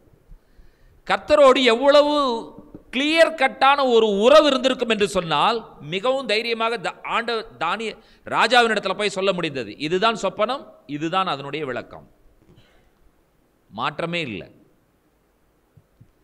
தேவனோடு நமக்குள்ள உறவு உலகத்தில் எப்பேற்பட்ட சக்திகளையும் நம்மால் சந்திக்க முடியும் நம்மால் எதிர்கொள்ள முடியும். இந்த உலகத்தின் ஆதிக்க சக்திகள் எதுவாக இருந்தாலும் கத்தருடைய பிள்ளைகளை தேவனுடைய பிள்ளைகளை இன்றைக்கு நாம் ஒன்றை கற்றுக்கொள்ள வேண்டும். தேவனோடு நமக்குள்ள நெருங்கிய உறவு எப்பேற்பட்ட சக்திகளையும் நம்மால் சந்திக்கிறதற்கு நம்மால் முடியும். நாம் பயப்பட வேண்டும் என்கிற அவசியம் இல்லை ஏனென்று சொன்னால் நாம் தேவனோடு நடப்பவர்கள் தேவனோடு உறவு கொள்பவர்கள் தேவனோடு பேசுபவர்கள். ஏன் பயப்பட வேண்டும்? யாராக இருந்தால் இல்லை. தானியல் எதையுமே பொருட்படுத்தவில்லை. நீர் சக்கரவர்த்தி நாங்கள் அடிமைகளாக வந்திருக்கிறோம். டோன்ட் கேர் நெவர் மைண்ட் நான் சொல்கிறேன் இதுதான். பிரியமான தேவனுடைய பிள்ளைகளே இந்த மாலை வேளையில் நாம் என்ன தீர்மானம் எடுக்க வேண்டும்? தேவனோடு ஒரு நெருங்கிய தொடர்பை நான் ஏற்படுத்திக் கொள்ளுவேன். தினமும் நான் தேவனோடு பேசுவேன். தேவனோடு பேசுகிற நபர் வெட்கப்படாத நபர். கத்தருக்கு காத்திருக்கிறவர்கள் கழுகுகளைப் போல செட்டைகளை விரித்து எழும்புவார்கள் ஓடினாலும் இளைப்படையார்கள் நடந்தாலும் சோர்வடையார்கள். சிங்கக்குட்டிகள் தாழ்ச்சியடைந்து பட்டினியாயிருக்கும் கத்தரை தேடுகிறவர்களுக்கு ஒரு நன்மையும் குறையப்படாது அவர்கள் அவரை நோக்கி பார்த்து பிரகாசமடைந்தார்கள். அவர்கள் முகங்கள் வெட்கப்படவில்லை. இந்த ஏழை கூப்பிட்டான். கத்தர் கேட்டு அவனை அவன் இடுக்கண்களுக்கெல்லாம் நீங்களாக்கி ரட்சித்தார். நீர் சிறியவனை குப்பையிலிருந்தும் எளியவனை புழுதியிலிருந்தும் தூக்கி ராஜாக்களோடும் பிரபுக்களோடும் சமமாக உட்கார பண்ணுகிற ஜீவனுள்ள தேவனை நாம் ஆராதிக்கிறோம். ஹalleluya வெட்கப்பட்டு போவதே இல்லை நாம். இந்த சம்பவம் நடந்த உடனே என்ன நடந்தது என்பதை பாருங்கள் நாற்பத்தி ஆறாவது வசனத்தில். அப்பொழுது ராஜாவாகிய நெபுகாத் நேச்சார் முகங்குப்புற விழுந்து தானியேலை வணங்கி அவனுக்கு காணிக்கை செலுத்தவும் தூபம் காட்டவும் கட்டளையிட்டான். நெடுஞ்சான் கடையே கீழே விழுந்துட்டார் ராஜா. வணங்குறார் தானியேலை. நாம் என்ன தெரியுமா பண்ணுவோம்? உடனே ஃபோட்டோ எடுப்பா அதை வாட்ஸ்அப்பில் போடுறதுக்கு. மேகசினில் போடுறதுக்கு இதை ஃபோட்டோ எடு. இந்த ஃபோட்டோ தான் சரியான ஃபோட்டோ நமக்கு. இதே போல் ஒரு ஃபோட்டோ கிடையவே கிடையாது. சும்மா எலெக்ஷன் டைமில் யாராவது வந்து வேட்பாளர் ஜோம் பண்ணிட்டு போனாலே வாட்ஸ்அப்பில் தூக்கி போட்டுறோம் நம்ம. அவனுக்கு வர்றது ஓட்டுக்காக. ஒரு தடவை பேப்பரில் ஆந்திராவினுடைய முன்னாள் முதல்வர் சந்திரபாபு நாயுடு கிறிஸ்மஸ்க்கு வந்து இருபத்தி மூணாவது சங்கீதத்தை ப- படிச்சுட்டு அதற்கப்புறம் யாரோ பாடினாங்களோ அவர் கூட சேர்ந்து பாடிட்டு கேக் வெட்டிட்டு போனாருன்னு சொன்ன உடனே அதை நியூஸாக போட்டாங்க. அதை உடனே பரப்புனாங்க எல்லாரும். வந்துட்டார் வந்துட்டார் வந்துட்டார் சர்ச்சுக்கு வந்துட்டார் இருபத்தி மூணாம் சங்கீதம் படிச்சிட்டாரு பாட்டு பாடிட்டாரு கேக் வெட்டிட்டாரு கிறிஸ்மஸ் கொண்டாடிட்டாரு. அடுத்த நாள் பேப்பரில் பார்த்தா திருப்பதியில் நிற்கிறாருன்னு வருது. இப்போ இது யார் வாட்ஸ்அப்பில் போடுறது? யோசித்து பாருங்கள். இவைகளை பெரிதுபடுத்துவதே ஒரு அவமானம். வந்தால் வந்துட்டு போகிறாங்க இதில் என்ன இருக்குது இது என்ன பெரிய விஷயமா? கர்த்தர் ஒரு மனிதனை ரட்சித்தானா ரட்சிக்கிட்டோம். வந்த உடனே நம்ம வந்து அவர்களை தாட்பூட் தஞ்சாவூர் தஸ் புஷ்ங்கிற பாருங்க. அவன் நினச்சிக்கிறான் போய் இங்கே இருக்கிற அவனுக்கு ஒரு ஆள் கூட சரியில்லை போல தெரியுது. நம்ம தான் பெரிய ஆள் நினச்சிக்கிறான் அவன். தானியல் பிக்சரை பாருங்க. தானியல் நின்று கொண்டிருக்கிறார். ராஜாவின் நெடுஞ்சான் கிடையாது கீழே விழுந்து கொண்டிருக்கிறார். படுத்து கொண்டிருக்கிறார். படுத்துக்கொண்டு அவன் பாட்டுக்கு புலம்பிட்டு இருக்கான். ராஜா பாட்டுக்கு. என்ன தெரியுமா புலம்பிட்டு இருக்காரு? உங்கள் தேவன் தான் பெரிய தேவன். உங்கள் தேவன் தான் மறைபொருளை வெளிப்படுத்துகிற தேவன். உங்கள் தேவனைப் போல ஒரு தேவன் இல்லை. படுத்துக்கிட்டே அவனை கூப்பிட்றான். ஏ காணிக்க கொண்டு வா. தூபம் காட்டு. அதை பண்ணு இதை பண்ணு. இவன் கீழே கிடந்துக்கிறான். தானியில் இந்த சந்தர்ப்பத்தை எப்படி அழகாக பயன்படுத்தினான்னு பாருங்க. ஃபோட்டோடோ வீடியோடோ அதெல்லாம் சொல்லாமல் ராஜா படுத்திருக்கிறாரு. இவன் நின்றுட்டு இருக்கான். இவன் என்ன தெரியுமா அந்த சந்தர்ப்பத்தை பயன்படுத்தினா? இந்த சந்தர்ப்பத்தை பயன்படுத்தினா தான் நம்மளால் மேலே கொண்டு வர முடியும்னு சொல்லி என் கூட மூணு பேர் இருக்காங்க அவங்களை கவர்னராக்குன்னு நான் பாருங்க. படுத்து கொண்டிருக்கும் போதே அப்பாயின்மெண்ட் வேற வந்துருச்சு இவருக்கு. யூ ஆர் த பிரைம் மினிஸ்டர்ன்ட்டான் நீ தான் பிரைம் மினிஸ்டர் இன்னும் படுத்துட்டு தான் இருக்கான். முகத்தை கூட பார்க்கல. கீழே படுத்துக்கிட்டே காணிக்க செலுத்துங்கிறான் தூபம் காட்டுங்கிறான் தானியலை போல ஒரு தேவன் இல்லை தானியலுக்கு தேவனை போல ஒரு தேவன் இல்லைங்கிறான் மறைபொருள் வெளிப்படுத்தப்பட்டதுங்கிறான். புலம்பி தள்ளிட்டானுங்க. நீ பிரைம் மினிஸ்டர் ஆக்கிறவனேன்ட்டான் இவன் பார்த்தான் நான் பிரைம் மினிஸ்டர் ஆகிறதுங்க ஒரு அப்பாயின்மெண்ட் ஆர்டர் வந்துருச்சு. என் கூட மூணு பேர் சேர்ந்து ஜெபம் பண்ணாங்களே அவங்க நிலைமை என்ன? இன்றைக்கு நம்ம நினைப்போமா? நம்ம என்ன தெரியுமா சொல்லுவோம்? எனக்கு வெளிப்படுத்தப்பட்டது நான் பெரிய ஆளானே நீ கஷ்டப்படு. நீயும் ஜெபம் பண்ணு. தன்னுடைய சகோதரர்களுக்காக தன்னோடு கூட இருந்தவர்களையும் தூக்கிவிட வேண்டும் என்கிற மனப்பான்மை தானியலுக்கு இருந்தது. இன்றைய நம்ம நினைக்கிற மாதிரி யோசிச்சு பாருங்க. ஒரு அசிஸ்டன்ட் இருந்தாருன்னா மேடையே ஏற்ற மாட்டோம் நம்ம. புல்பிட்டே கொடுக்க மாட்டோம் மைக்கே கொடுக்க மாட்டோம். பெரிய ஆள் ஆகிட்டானே என்ன பண்ணுறது யாரையும் யாரும் பெரிய ஆளாக்க முடியாது. என் ஒருத்தரால் ஒருத்தர் கெட்டு போக முடியாது ஒருத்தரால் ஒருத்தர் வாழ்ந்துட முடியாது. கத்தரே வாழ வைக்கக்கூடியவர். யாரை நம்ப வேண்டும்? எல்லோரையும் பயன்படுத்த வேண்டும். எல்லோருக்கும் ஒரு வாய்ப்பு கொடுங்க. தானியல் சொன்ன வார்த்தையை பாருங்கள். என்ன அழகாக சொல்லுகிறார். ரெண்டாம் அதிகாரம். நாற்பத்தி ஒன்பதாவது வசனம். தானியேல் ராஜாவை வேண்டிக் கொண்டதின் பேரில் அவன் சாத்ராக்கையும் மேஷாக்கையும் ஆபேத் நெகோவையும் பாபிலோன் மாகாணத்து காரியங்களை விசாரிக்கும்படி வைத்தான். ஆ. தானியேலோவென்றால் ராஜாவின் கொலு மண்டபத்தில் இருந்தான். சாதாரணமாக அடிமைகளாய் கடந்தவர்கள் இப்போ கவர்னர் ஆயிட்டாங்க. ஒன்றை புரிந்து கொள்ள வேண்டும். தானியலின் நிமித்தமாய் கிடைத்த உயர்வு. தானியல் வேண்டிக் கொண்டது நிமித்தமாய் கிடைத்த உயர்வு. என்னை கேட்டுக்கொண்டிருக்கிற உங்களை பார்த்து ஒரு கேள்வி கேட்கிறேன். உங்கள் மூலமாக எத்தனை பேர் உயர்த்தப்பட்டிருக்கிறார்கள் சொல்ல முடியுமா உங்களால்? உங்கள் மூலமாக எத்தனை பேர் வாழ்ந்திருக்கிறார்கள்? எத்தனை பேரை நீங்கள் வாழ வைத்திருக்கிறீர்கள்? சமுதாயத்தை வாழ வைப்பதற்காக கத்தர் உங்களையும் என்னையும் தெரிந்தெடுத்திருக்கிறார். சகோதர சகோதரிகளை வாழ வைப்பதற்காக கத்தர் உங்களையும் என்னையும் தெரிந்தெடுத்திருக்கிறார். பேச வேண்டிய சந்தர்ப்பத்தில் பேசுங்கள் செய்ய வேண்டிய சந்தர்ப்பத்தில் செய்யுங்கள் கொடுக்க வேண்டிய சந்தர்ப்பத்தில் கொடுங்கள் உயர்த்த வேண்டிய சந்தர்ப்பத்தில் உயர்த்தி விடுங்கள். அவன் படுத்துட்டு இருக்கும் பொழுதே அப்பாயின்மெண்ட் வாங்கிட்டான். சந்தர்ப்பத்தை மிக சரியாக பயன்படுத்தினாரா பயன்படுத்தலையா தானியல்? பயன்படுத்தினார். அடிமை. இவர்கள் யாரு? அடிமைகள். அடிமைன்னு என்ன தெரியுமா? விலைப்பட்டியில் இருக்கும். அடிமை என்றால் ரோட்டில் போகிறவன ரோட்டில் இருந்தான்னா அடிமையை கூப்பிட்டு வேலை வாங்கலாம். யூதர்களை பாபிலோனுக்கு அடிமைகளாக பிடித்து கொண்டு வந்ததற்கு பிறகு தன்னுடைய நாட்டு மக்களுக்கு ராஜா அறிவிக்கிற விஷயம் என்னவென்றால் என்னுடைய நாட்டு மக்களை கேளுங்கள் நீங்கள் சுகமாக வாழ வேண்டும் என்பதற்காக பக்கத்து நாட்டில் படையெடுத்து அவர்களை உங்களுக்கு அடிமைகளாக கொண்டு வந்திருக்கிறேன். நீங்கள் சுகமாக வாழுங்கள். அடிமை ரோட்டில் சுற்றிட்டு இருப்பான். உங்களுக்கு வீட்டில் என்ன வேலை வேணுமானாலும் வெளியே வந்து பார்த்தீங்கன்னா எவனா ஒருத்தன் ரோட்டில் இருந்திருப்பான். அவனை ஏ உள்ளவான்னு கூப்பிட்டுட்டு அவனுக்கு வேலையை வாங்கிட்டு அவனுக்கு சம்பளம் கொடுக்கணுங்கிற அவசியம் கிடையாது. சரி போன் முடிக்கி விட்டா அவன் கிளம்பி போயிடணும் சாப்பாடு கொடுக்கணுங்கிற அவசியம் கிடையாது. அவன் போய் எங்கேயுமே கம்ப்ளைண்ட் பண்ண முடியாது. என்னை கூப்பிட்டு வேலை வாங்கினாங்க எனக்கு சம்பளம் கொடுக்கல. என்னை கூப்பிட்டு வேலை வாங்கினாங்க சாப்பாடு கொடுக்கல. கம்ப்ளைண்ட்டும் பண்ண முடியாது. அப்பேற்பட்ட அடிமைகளுக்கு கிடைத்த பதவி தானியல் மூலமாக மாகாணத்து ஆளுநர்கள். இப்பொழுது மூன்றாம் அதிகாரத்தில் ஒரு சம்பவம் நடைபெறுகிறது. என்ன சம்பவம்? ராஜா ஒரு சிலையை நிறுத்துகிறான். அந்த சிலையை எல்லாரும் வணங்கணும். யார் வணங்கல? சாத்ராக் மேஷாக் ஆபத்தினேக்கோ வணங்கவில்லை. சாத்ராக் மேஷாக் ஆபத்தினேக்கோ வணங்கலைங்கிறது எதனால தெரிஞ்சது? சும்மா சுத்திட்டு இருந்தான்னு தெரியுமா? தெரியாது. ஒரு உயர் பதவியில் இருந்ததுனால அவனை வாட்ச் பண்றாங்க. இவன் செய்கிறானா பார்க்கலாம். சரி இன்னொரு கேள்வி. இப்போ தானியல் எங்கே போனார்? தானியலுக்கு என்ன நடந்தது? தானியல் பிக்சர்லேயே வரலையே சீன்லேயே வரலையே? அதை நம்ம யோசிச்சிருக்கோமே என்னைக்காவது? தானியல் பிக்சரில் வந்தாரா? பிக்சரில் வரவே இல்லை. நான் இப்படி சொன்னால் எப்படி இருக்குன்னு யோசிச்சு பாருங்க. அனனியா மிஷாவேல் அசரியா. இல்லாவிட்டால் சாத்ராக் மேஷா காபேத்னேக்கோ இவர்கள் அக்கினி சூளைக்குள்ளே போனதுக்கு காரணமே தானியல் தான். எப்படின்னா நீங்கள் தப்பாக புரிந்து கொள்ளக்கூடாது. நான் தவறாக சொல்ல வரல.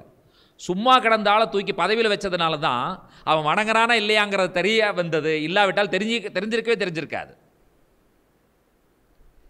Insignificant persons have become a significant persons அடையாளம் தெரியாமல் இருந்த நபர்கள் அடையாளம் தெரியும் நபர்களாக மாற்றப்பட்டார்கள். தானியல் யாருக்கு ஈக்குவலாக இருக்கிறார் என்று சொன்னால் ராஜாவுக்கு ஈக்குவலாக இருக்கிறார். இந்த கட்டளை யாருக்கு பொருந்தாது என்று சொன்னால் தானியலுக்கு பொருந்தாது. தானியலுடைய position equal to the emperor இன்னொரு சிலர் சொல்கிறாங்க ராஜாவிற்கு மேலே அதிகாரம் உள்ளவராய் இருந்தார் தானியேல். ஆகியனால இந்த கட்டளை யாருக்கு பொருந்தவில்லை? தானியலுக்கு பொருந்தவில்லை. பட் இவங்க லோவர் லெவலில் இருக்கிறாங்க.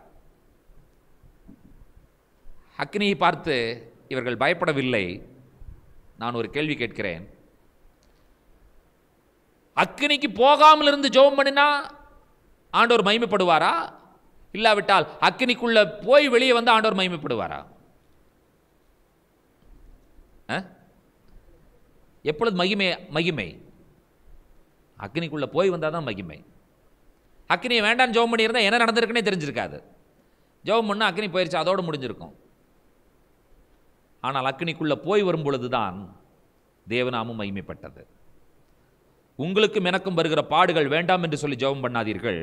பாடுகளின் வழியாய் நான் வெற்றியாய் கடந்து வெளியே வர உதவி செய்யுங்கள் என்று சொல்லி ஜெபம் பண்ண பழகுங்கள். அதில் தான் தேவன் மகிமைப்படுவார். இன்றைக்கு நாம் என்ன ஜெபிக்கிறோம் என்று சொன்னால் இது வேண்டாம் இதை தடுத்து நிறுத்துங்க அது வேண்டாம் அதை தடுத்து நிறுத்துங்க இதை வேண்டாம் அதை தடுத்து நிறுத்துங்க என்று சொல்லி நாம் ஜெபிக்கிறோம். ஆனால் என்ன ஜெபிக்க வேண்டும்? பாடுகளின் வழியாய் நான் கடந்து வந்தாலும் வெற்றியாய் வெளியே வர உதவி செய்யுங்கள் என்று சொல்லி ஆண்டவரிடத்தில் கேட்பீர்கள் என்று சொன்னால் அதுவே தேவனுக்கு மகிமையை கொண்டு வரக்கூடியதாக இருக்கிறது. இந்த இடத்துல ஒரு யூத ஆசிரியர் இவ்வாறு சொன்னார். இவர்கள் அக்கினியை பார்த்தவுடனே இந்த அக்கினி நிச்சயமா என்னை பட்சிக்காது என்று சொல்லி எதை வைத்து புரிந்து கொண்டார்கள் என்று சொன்னால் மோசே கண்ட அதே அக்கினி தான் இந்த அக்னி என்று புரிந்து கொண்டார்கள். ஒரு முச்செடி எரிந்தது ஆனால் முச்செடி என்ன செய்யவில்லை? வெந்து போகவில்லை. அதே அக்கினிதான் தான் நான் உள்ளே போகிறேன் என்று சொல்லி போனார்கள். ஆகினால் அவர்கள் என்ன செய்யவில்லை? பட்சிக்கவில்லை. ஆனால் அதே அக்னி என்ன செய்தது? தூக்கி போட்டவனை பட்சிச்சு தூக்கி போட்டவனை பட்சித்ததற்கு என்ன காரணம்? முச்சடியில் தோன்றின அக்கினி யகோவா என்கிற அறிவு அவனுக்கு இல்லை. யகோவா தேவனை அறிந்தவர்கள் பட்சிக்கப்பட மாட்டார்கள். காப்பாற்றப்படுவார்கள். அக்கினி சூளையிலும் காப்பாற்றப்பட்டதற்கு காரணம் யகோவா தேவனை பற்றிய அறிவு நமக்கு இருந்தால் நிச்சயமாக நாம் என்ன செய்வோம்? காப்பாற்றப்படுவோம். பிரியமான தேவனுடைய பிள்ளைகளே அனனியா மிஷாவேல் அசிரியா இவர்களுடைய வார்த்தை விடுவிக்காமற் போனாலும் சரி இந்த சிலையை நாங்கள் வணங்க மாட்டோம் என்று சொல்லி ஆண்டவரை மைமைப்படுத்தினபடியினால் அவர்கள் காப்பாற்றப்பட்டார்கள். ஆண்டவருடைய நாமம் மைமைப்பட்டது என்று சொல்லி நாம் பார்க்கிறோம். இப்பொழுது தானியேல் ஆறாம் அதிகாரத்தை நீங்கள் திருப்பிக் கொள்வீர்கள் என்று சொன்னால் இது எல்லோருக்கும் பரிட்சயப்பட்ட ஒரு பகுதி. ஆறாம் அதிகாரம் பத்தாவது வசனத்தை நாம் வாசிக்க கேட்கலாம். தானியேலோ வென்றால் ஆ. அந்த பத்திரத்துக்கு கையெழுத்து வைக்கப்பட்டதென்று அறிந்த போதிலும் தன் வீட்டுக்குள்ளே போய் தன் மேல் அறையிலே எருசலேமுக்கு நேராக பல கனிகள் திறந்திருக்க அங்கே தான் முன் செய்து வந்தபடியே தினம் மூன்று வேளையும் தன் தேவனுக்கு முன்பாக முழங்கார்படியிட்டு ஜெபம் பண்ணி ஸ்தோத்திரம் செலுத்தினான் இப்பொழுது இவர்களுடைய வேலை என்னன்னு சொல்லி பார்த்தீங்கன்னா சொன்னா, எப்படியாவது தானியல்ல குற்றம் கண்டுபிடிக்கணும் நான்காவது வசனத்தை வாசிக்க கேட்கலாம். அப்பொழுது பிரதானிகளும் தேசாதிபதிகளும் ராஜ்யத்தின் விசாரிப்பிலே தானியேலை குற்றப்படுத்தும்படி முகாந்திரம் தேடினார்கள். தானியலை குற்றப்படுத்தும்படி ஒரு முகாந்திரம் தேடுகிறார்கள். ஆனாலும் ஒரு முகாந்திரத்தையும் குற்றத்தையும் கண்டுபிடிக்க அவர்களால் கூடாதிருந்தது. இப்ப தானியலுடைய அடுத்த குணாதிசயம் என்னவென்றால் தானியல் குற்றமற்றவர். தானியல் என்ன தானியல் என்ன இல்லை? எந்த குற்றமும் இல்லவே இல்லை. தானியலத்தில் எத்தனையோ குணாதிசயங்களை பார்த்தோம். படிப்பு அழகு அறிவு அந்தஸ்து ராஜகுலம் கற்றுக்கொள்ளக்கூடிய திறமை தேவனுக்கான வைராக்கியம் சந்தர்ப்பம் கிடைத்த பொழுதும் பாவம் செய்யவில்லை. இன்றைக்கு சிலர் பரிசுத்தவான்களாக காட்சி கொடுப்பதற்கு என்ன காரணம் என்றால் பாவம் செய்வதற்கு சந்தர்ப்பம் கிடைக்கல. ஆகியனால பரிசுத்தவான்கள். சிலர் ஏன் தியாகிகளாக இருக்கிறார்கள்? பணம் இல்லாதனால தியாகிகள். பணம் இருந்தால் என்ன பண்ணுவாங்கன்னு தெரியாது. பணம் இல்லாததுனால தியாகிகள். சந்தர்ப்பம் கிடைக்காதனால பரிசுத்தவான்கள். அப்படி அல்ல. தாழ்மையாக இருந்தார். அவர் மேலே போன உடனே அந்த சூழ்நிலையை எவ்வாறு பயன்படுத்தி தன்னுடைய நண்பர்களை உயர்த்தினார்? இந்த நல்ல குணாதிசயங்களை நாம் யாரிடத்தில் கற்றுக்கொள்ள முடியும் என்று சொன்னால் தானியல் இடத்துல கற்றுக்கொள்ள முடியும். இங்கே வாசித்தோம் தானியல் இடத்துல எந்த குற்றமும் கண்டுபிடிக்க முடியவில்லை. தானியல் ஜெபிக்கிறார் மூன்று வேளை ஜெபிக்கிறார். யூதர்கள் மூன்று வேளை ஜெபிப்பார்கள். என்ன காரணம்? யூதர்கள் எத்தனை வேளை ஜெபம் பண்ணுவாங்க? ஏன் மூன்று வேளை ஜெபிக்கிறார்கள்? சிலர் சொன்னார் மூணு வேளை சாப்பிட்றதுனால மூணு வேளை ஜெபிக்கிறாங்கன்னு சொல்லி. சரி அஞ்சு வேளை சாப்பிட்றவங்க என்ன பண்ணுறது யூதர்கள் மூன்று வேளை ஜெபிப்பதற்கு என்ன காரணம் என்றால் இவர்கள் ஆபரகாம் ஈசாக்கி ஆக்கோப் என்பவர்களுடைய தேவர்களை தேவனை சேவிக்கிறவர்கள் யாக்கோபு காலையிலே ஜெபித்தார் ஈசாக்கு சாயங்காலத்தில் ஜெபித்தார் யாக்கோபு இரவிலே ஜெபித்தார். ஆகியனால யூதர்கள் மூன்று வேளை ஜெபிக்கிறார்கள். Abraham prayed in the morning and Isaac prayed in the noon அந்த Jacob Jacob in the night ஆகையினால இவர்கள் என்ன செய்கிறார்கள் என்று சொன்னால் ஆபிரகாமின் தேவன் ஈசாக்கின் தேவன் யாக்கோபின் தேவன். ஆகையினால் இவர்கள் மூன்று வேளை ஜபிக்கிறார்கள். இவர் ஜெபிக்கிறார். ஜெபம் செய்த உடனே கட்டளை என்ன? சிங்ககபியில போடணும். தானியேல் சிங்ககபிக்கு சந்தோஷமாக போனாரா போகலையா? ஏ சொல்லுங்க சந்தோஷமாக போனாரா போகலையா? எதனால் சந்தோஷமாக போனார்? இல்லை எதனால் சந்தோஷமாக போனார்? ஆ சொல்லுங்க. நீங்கள் என்ன நினைச்சாலும் சொல்லுங்கள் பரவாயில்ல. கையை தான் காமிச்சிங்க அதுக்கப்புறம் ஒன்றுமே பதிலே வரல. எதனால் சந்தோஷமாய் போனார்? ஆ? எந்த சூழ்நிலையிலும்? கர்த்தனமே காப்பாற்றுவார். எந்த சூழ்நிலையிலும்? கர்த்தனமே காப்பாற்றுவார். காப்பாற்றினார் என்னையும் காப்பாற்றுவார். தானியலுக்கு என்ன புரிந்தது என்றால் ராஜாவினுடைய அதிகாரம் எல்லைகளுக்கு உட்பட்டது. நான் ஒன்றை சொல்லுகிறேன் இந்த மாலை வேளையிலே. இந்த உலகத்தில் எந்த மனிதன் எப்பேற்பட்ட அதிகாரத்தில் இருந்தாலும் அவனுடைய அதிகாரம் ஒரு வரைமுறைக்குட்பட்டது ஒரு எல்லைக்குட்பட்டது. ஒரு எல்லையை மீறி அவனால் அவனுடைய அதிகாரத்தை செலுத்த முடியாது. தானியலுக்கு என்ன புரிந்ததென்றால் ராஜாவிற்கு ஒரு அதிகாரம் இருக்கிறது அந்த அதிகாரம் எல்லைகளுக்கு உட்பட்டது ராஜாவினுடைய அதிகாரத்தினால் ராஜா என்ன செய்ய முடியும் என்றால் அவனுடைய சேவகர்களை பார்த்து தானியலை தூக்கி சிங்ககபியில் போடு என்று சொல்வதற்கு தானி ராஜாவிற்கு அதிகாரம் உண்டு. ஆனால் இந்த ராஜாவினால் சிங்கத்தை பார்த்து தானியலை விழுங்குன்னு சொல்றதுக்கு ராஜாவுக்கு அதிகாரம் இல்லை. இது யார் பேச முடியும்? நீ தானியலை விழுங்குன்னு சொல்ல சொல்லுங்க பார்க்கலாம் நீங்க ராஜாவை. முடியுமா ராஜாவினால்? முடியவே முடியாது. நீ தானியலை விழுங்குன்னா அது அவனை விழுங்கிரும். கை காமிச்சதுனா இந்த அறிவு தானியலுக்கு இருந்தது. பிரியமான தேவனுடைய பிள்ளைகளே நாம் ஒன்றை அறிந்திருக்க வேண்டும். அதிகாரம் உள்ளவைகளுக்கெல்லாம் அதிகாரம் உள்ளவரை நான் ஆராதிக்கிறேன். I am serving the god one who has got authority over all the authorities எல்லா அதிகாரங்களுக்கும் அதிகாரம் உள்ளவர். ஒரு லிமிட்டட் தான் யாரா இருந்தாலும். இந்த நாட்டினுடைய ஜனாதிபதி அல்லது இந்த நாட்டினுடைய பிரதம மந்திரி பக்கத்து நாட்டில் தலையிட்டாருன்னு சொன்னால் உடனே சொல்கிறார் உன்னோட வேலையை நீ பாரு எங்கள் வேலையை நாங்கள் பார்த்துக்கிறோன்றார் மாநிலங்களுக்குள்ளே பேச முடியல. உள்ளே வராதீங்கிறாங்க. நாங்கள் பார்த்துக்கிறோம் சொல்கிறாங்களா சொல்கிறது இல்லையா? பிரியமான தேவனுடைய பிள்ளைகளே தானியல் மூலமாக நாம் கற்றுக்கொள்ள வேண்டிய அடுத்த பாடம் என்னவென்றால் தேவனை பற்றிய அறிவு எப்படிப்பட்டதாக இருக்கிறது நமக்கு? இப்பேற்பட்ட ஒரு தேவனை வைத்துக்கொண்டு தானியல் சந்தோஷமாக போகிறார். என்னுடைய ஆண்டவர் கட்டளை கொடுத்தால் தான் அந்த சிங்கம் கீழ்ப்படியும். என்னுடைய ஆண்டவர் கட்டளை கொடுக்காத வரைக்கும் சிங்கம் என்ன செய்யாது? ஒன்றுமே செய்யாது. கடலின் ஆழங்கள் என்னுடைய ஆண்டவர் கையில் இருக்கிறது. வானத்தின் உயரங்கள் என்னுடைய ஆண்டவர் கையில் இருக்கிறது. சிருஷ்டிப்பு அவருடைய கரத்தில் அடங்கி இருக்கிறது. அண்ட சராசரங்களும் யகோவா தேவனுக்கு கீழ் இருக்கிறது. அவர் சொல்ல ஆகும் அவர் கட்டளையிட நிற்கும். எப்பேற்பட்ட அதிகாரம் உள்ள ஆண்டவரை நாம் ஆராதிக்கிறோம் என்கிற அறிவு நமக்கு இருக்கும் என்று சொன்னால் நாம் பயப்பட மாட்டோம் நாம் கவலைப்பட மாட்டோம். சிங்க கெபியை ஃபைவ் ஸ்டார் ஹோட்டல் மாதிரி நினைச்சிட்டு உள்ள போய் படுத்திருக்காரே அவரு. தானியலே நீ ஆராதிக்கிற தேவன் உன்னை தப்பு வைக்க வல்லவராக இருந்தாரா வாழ்த்து அங்கிருந்து கொடுக்குறான் வாழ்க. நீர் வாழ்க. இவன் நினச்சிட்டு வந்தான். ஒன்றும் இல்லாம எப்படியா முடியும்? எப்படி முடியும்? முடியவே முடியாது. கர்த்தர் கூட இருக்கிறார். தானியல் மூலமாக நாம் கற்றுக்கொள்ள வேண்டிய மற்றொரு சிறந்த பாடம் என் தேவன் ஜீவிக்கிறார்.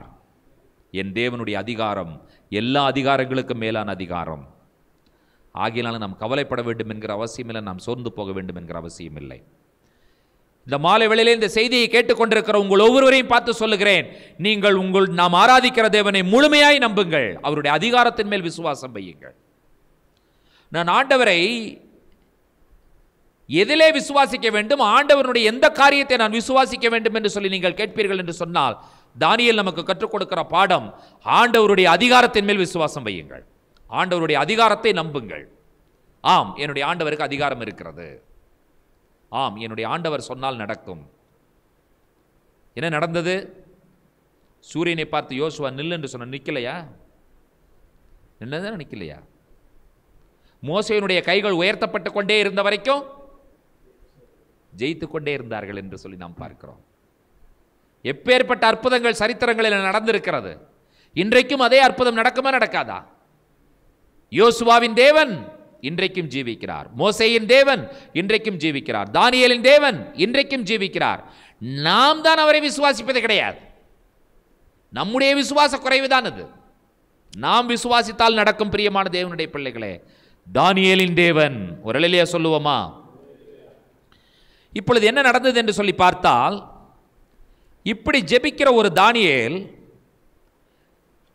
சில சொப்பனங்கள் அவருக்கு தோன்றுகிறது. ஏழாம் அதிகாரம் பதினைந்தாவது வசனத்தை வாசிக்க கேட்கலாம். தானியேலாகிய நான் என் தேகத்தில் உள்ள என் ஆவியிலே சஞ்சலப்பட்டேன். என் தலையில் தோன்றின தரிசனங்கள் என்னை கலங்க பண்ணினது. தானியேலுடைய சூழ்நிலை பாருங்க. இவர் பார்த்த தரிசனங்களால் இவர் கலங்கி போயிருக்கிறார். அடுத்தவர்கள் பார்த்த சொப்பனத்தை இவர் பார்த்து விளக்கம் சொன்ன நபருக்கு இவர் கண்ட தரிசனத்திற்கு விளக்கத்திற்கு பக்கத்து நபருக்கு போக வேண்டியதாக இருந்தது இவர் பொழுது அவர் பயப்படவே இல்லை அவருக்கு அவர் யோசிக்கவே இல்லை. சமீபத்தில் நிற்கிறவர்களில் ஒருவனிடத்தில் நான் போய் இதன் பொருள் எல்லாவற்றையும் எனக்கு சொல்லும்படி அவனை வேண்டிக் கொண்டேன். அவன் அந்த காரியங்களின் அர்த்தத்தை எனக்கு அறிவித்து சொன்னது என்னவென்றால் அதாவது ஒரு தடவை நமக்கு காரியம் வெளிப்பட்டுச்சு அப்படின்னு சொன்ன உடனே நம்ம என்ன செய்யணும்னா அதையே சாக்கா வைக்கக்கூடாது. திரும்பவும் வெளிப்படுத்துகிற தேவன் தான். நான் இல்லை என்று சொல்லவில்லை. நான் என்ன சொல்ல வருகிறேன் என்றால் எனக்கு தான் எல்லாம் தெரியுங்கிற பெருமை இருக்கக்கூடாது. இவர் தயங்கினாரா? இவர் பார்த்த தரிசனத்துக்கு இன்னொரு இடத்துல விளக்க இன்னொரு இடத்துல விளக்க இன்னொரு இடத்துல விளக்கம் கேட்கிறார். அடுத்தவர் கண்ட சொப்பனத்தை கண்டு விளக்கம் சொன்ன தானியேல் இவருடைய தரிசனத்திற்காக என்ன செய்கிறார்? இன்னொரு ஒரு இடத்துல விளக்கத்திற்கு போய் நிற்கிறார் என்று சொன்னால் பிரியமான தேவனுடைய பிள்ளைகளை நான் என்ன சொல்ல வருகிறேன் என்றால் ஊழியத்தின் பாதையில் என்னை விட்டால் ஆள் இல்லை என்கிற அந்த மத மதப்பு அந்த பெருமை நமக்கு இருக்கவே கூடாது. சில என்ன தெரியுமா பண்ணுவாங்க?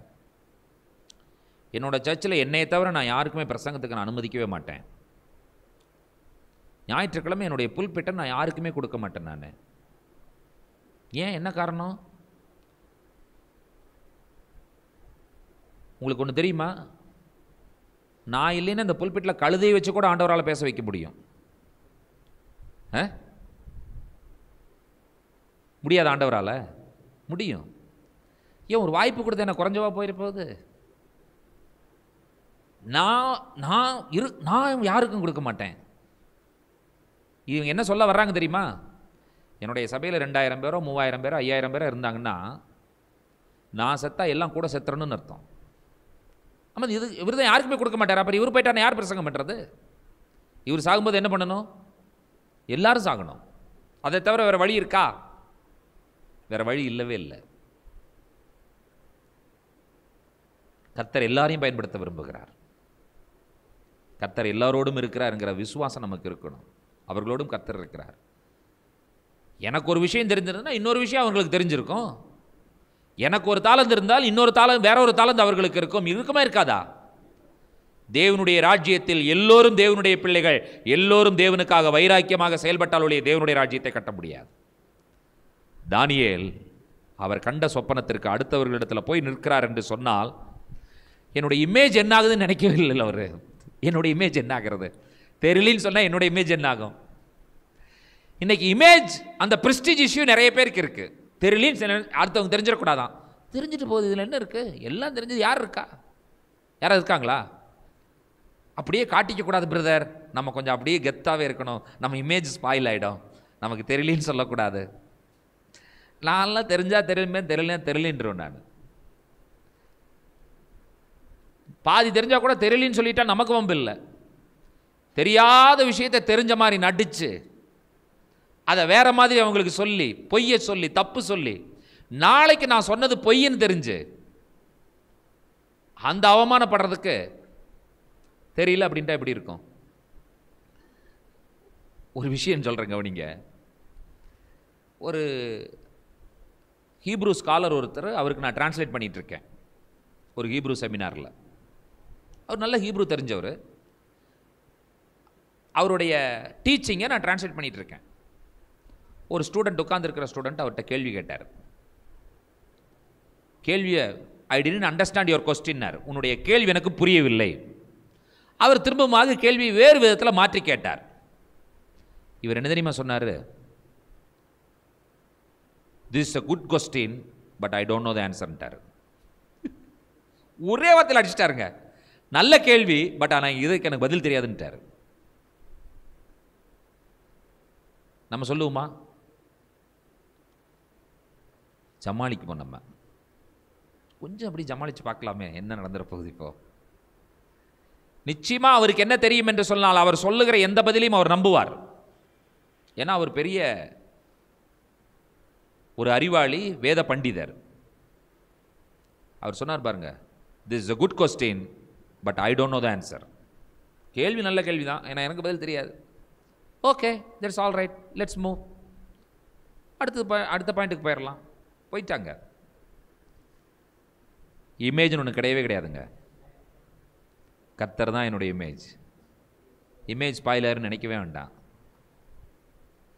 நம்முடைய ஆம் என்பது ஆமன்றதும் இல்லை என்பது இல்லை என்றும் இருக்கட்டும். உள்ளது உள்ளது தான் இல்லைங்கிறது இல்லைண்ணா தெரிஞ்சா தெரியும் தெரியலன்னா தெரியல. தானியலுக்கு சில விளக்கங்களை சொன்ன பொழுது இருபத்தி எட்டாவது சனத்தை வாசிக்க கேட்கலாம். அவன் சொன்ன வார்த்தை. இத்தோடே முடிந்தது. தானியேலாகிய நான் என் நினைவுகளால் மிகவும் கலங்கினேன். என் முகம் வேறுபட்டது. இந்த காரியத்தை என் மனதிலே வைத்துக் கொண்டேன். என் முகம் வேறுபட்டது. இந்த காரியத்தை நான் மனசுல வச்சுட்டேன். இவர் ஏதோ ஒரு வித்தியாசமான காரியத்தை சொல்லியிருக்கிறார். இந்த காரியத்தை இவர் மனதிலே வைத்துக் கொள்ளுகிறார். ஒரு விஷயத்தை ஒரு கவலையை நீங்க மனசிலே வச்சீங்கன்னா என்ன நடக்கும் என்பதற்கு தானியல் ஒரு உதாரணமா இருக்கிறார். இருபத்தி ஏழாவது வசனத்தை வாசிக்க கேட்கலாம். வானத்தின் கீழெங்கும் இல்ல உள்ள எட்டு இருபத்தி ஏழு. தானியலாகிய நான் சோர்வடைந்து தானியேல் ஆகிய நான் சோர்வடைந்து சில நாள் வியாதிப்பட்டிருந்தேன். இதை மனதில் வச்சு வச்சு வச்சு வச்சு எனக்கு என்னவே என்னவே வந்து வந்து விட்டது. வியாதியே வந்துருச்சு. Daniel is also a human அவருடைய ஹியூமனிட்டி எப்படி வியாதி வந்துச்சு வெளியே காமிக்காத யார் சோர்ந்து போயிடுவா விசாசி வந்து போயிடுவாங்க வியாதியோடவே பிரசங்கம் பண்ணுறது வியாதியோடவே ஜோம் பண்ணுறது வியாதியோடவே வண்டி ஓட்டிகிட்டு போகிறது வியாதியோடவே போய் நின்று ஏதாவது ஒன்று சொல்லிட்டு வரணும். ஏன் நாலு நாள் நான் படுத்திருக்கேன்னு சொல்ல வேண்டியதானே என்ன கெட்டு போச்சு இப்போ? நினைத்து நினைத்து நினைத்து நினைத்து இது ஏதோ ஒரு விஷயம் அவருடைய மனதில் இருக்கிறது. அதை மனதிலே வைத்தபடியினால் அவருக்கு வியாதி வந்தது. திரும்ப தன்னை தேற்றிக்கொண்டு ராஜாவினுடைய வேலையை செய்ய ஆரம்பிக்கிறார். இவர் செய்த அடுத்த விஷயத்தை பாருங்கள் ஒன்பதாம் அதிகாரம் இரண்டாவது வசனத்தை. தானியலாகிய நான். எருசலேமின் பாழ்கடிப்புகள் நிறைவேறி தீர எழுபது வருஷம் செல்லும் என்று கர்த்தர் எரேமியா தீர்க்கதரிசியோடே சொல்லிய வருஷங்களின் தொகையை புஸ்தகங்களால் அறிந்து கொண்டேன். Daniel was reading the Bible Daniel Bible படிச்சிட்டு இருக்காரு. எரேமிய புஸ்தகத்தை படிச்சிட்டு இருக்காரு ஏன்னா எரேமிய புஸ்தகம் தான் என்னன்னு சொல்லி பார்த்தீங்கன்னா இவர்கள் வருவதற்கு முன்பாக சிறைப்பிடிப்பிற்கு முன்பாக எரேமியா தான் தீர்க்க தரிசனம் சொல்லி அழுது புலம்பி இவர்களை அனுப்பி வைக்கிறார். கர்த்தர் எரேமியன் மூலமாக இவர்களுக்கு சொல்லுகிற வார்த்தை என்னவென்றால் எழுபது வருஷத்தில் ரிட்டர்ன் வந்துடுவீங்க தைரியமாக போங்க. இறைமையை இருபத்தி ஒன்பதாம் அதிகாரம் பத்தாவது வசனத்தை வாசிக்க கேட்கலாம். இறைமையா தீர்க்க தரிசன புஸ்தகம் இருபத்தி ஒன்பதாம் அதிகாரம் பத்தாவது வசனம் என்ன சொல்லுகிறது?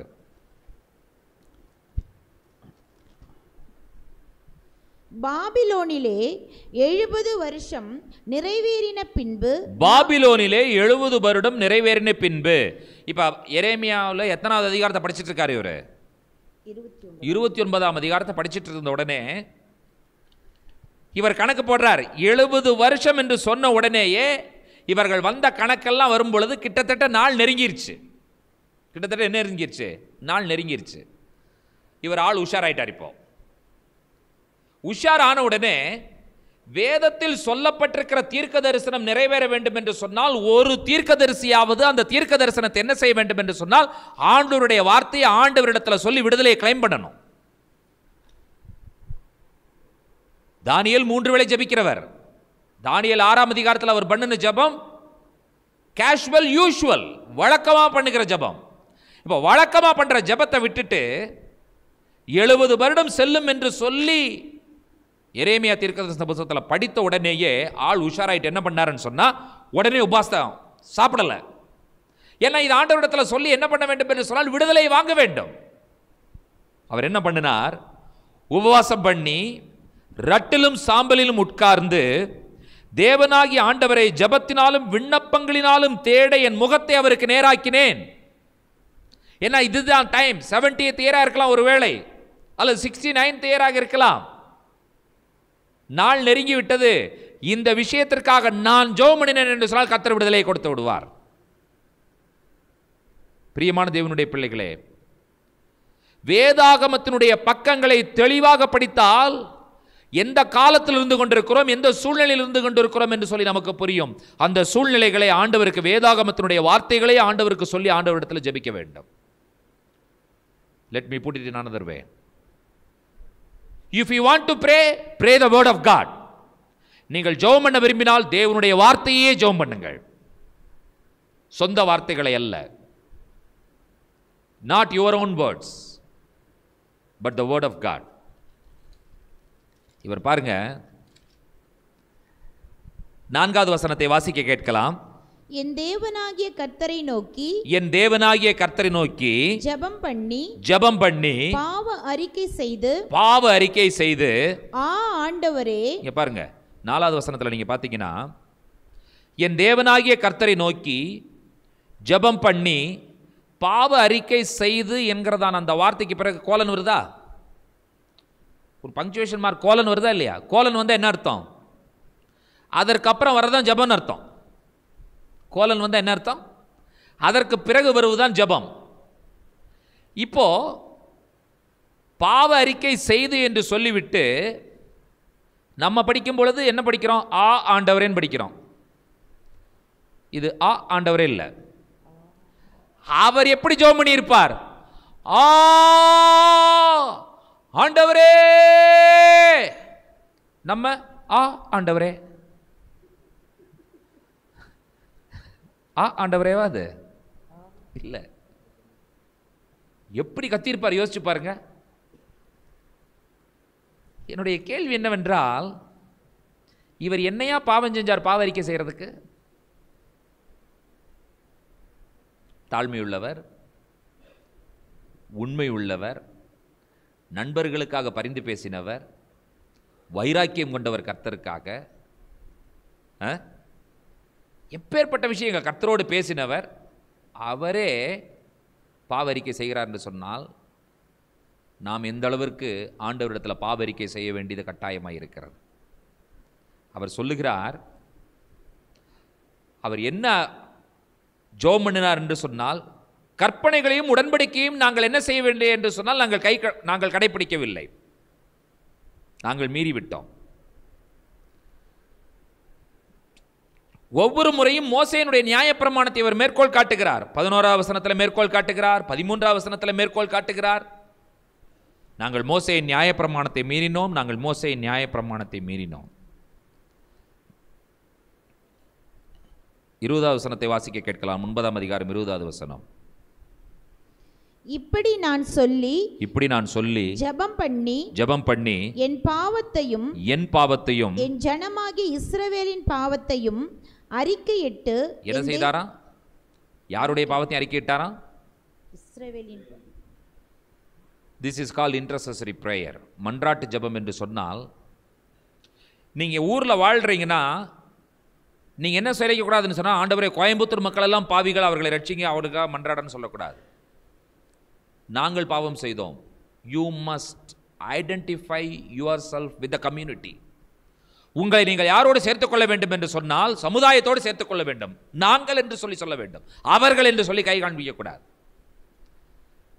இயேசுநாதர் இந்த உலகத்தில் ஊழியத்திற்கு வருவதற்காக ஒரு சந்தர்ப்பம் எதிர் எதிர்பார்த்து காத்து கொண்டிருந்தார். அது எந்த சந்தர்ப்பம் என்றால் யோவான் ஸ்நானகன் மறந்திரும்புதலுக்கு ஏற்ற பிரசங்கத்தை செய்ய வேண்டும். பாவிகளே மறந்திரும்புங்கள் என்று சொல்லி சொல்ல வேண்டும். விரியன் பாம்பு குட்டிகளே மறந்திரும்புங்கள் என்று சொல்லி பிரசங்கம் பண்ண வேண்டும். அந்த பிரசங்கத்தை கேட்டு யாரெல்லாம் மாய்மாலம் பண்ணுகிறார்களோ யாரெல்லாம் பாவம் செய்கிறார்களோ பாவத்தை விட்டு ஞானஸ்தானம் எடுத்துக்கொள்வதற்கு ஆயத்தமாக ஒரு ஒரு கியூ போகும் பொழுது Jesus Christ was looking for that particular queue புரிஞ்சுதா உங்களுக்கு? அந்த வரிசையில் போய் இவர் நின்று கொள்ளுகிறார். எதற்காக அந்த வரிசையில் நின்று நின்று கொள்கிறார் என்று சொன்னால் பாவிகளோடு தன்னை அடையாளப்படுத்திக் கொள்வதற்காக நின்று கொண்டார். நம்மளுடைய ஜெபம் எப்படி இருக்கிறது என்று சொன்னார் அவர்கள் அவர்கள் செய்தார்கள் அவர்கள் செய்தார்கள் அவர்கள் செய்தார்கள். என்னுடைய கேள்வி என்னவென்று சொன்னால் தானியல் என்ன பாவம் செய்தார் பாவ அறிக்கை செய்வதற்கு? இதுவரைக்கும் எதுவுமே பார்க்கல. எங்களுடைய முன்னோர்கள் செய்தார்கள் நாங்களும் செய்தோம் என்று சொல்லி சொல்லிக் கொள்கிறார் இந்த தேசத்திற்கு எப்பொழுது சேமம் வரும் என்று சொன்னால் இந்த தேசத்து மக்களோடு உங்களை அடையாளப்படுத்தி நீங்கள் ஜோம் பண்ணீர்கள் என்று சொன்னால் கத்தர் தேம தேசத்திற்கு சேமத்தை கொடுப்பார்.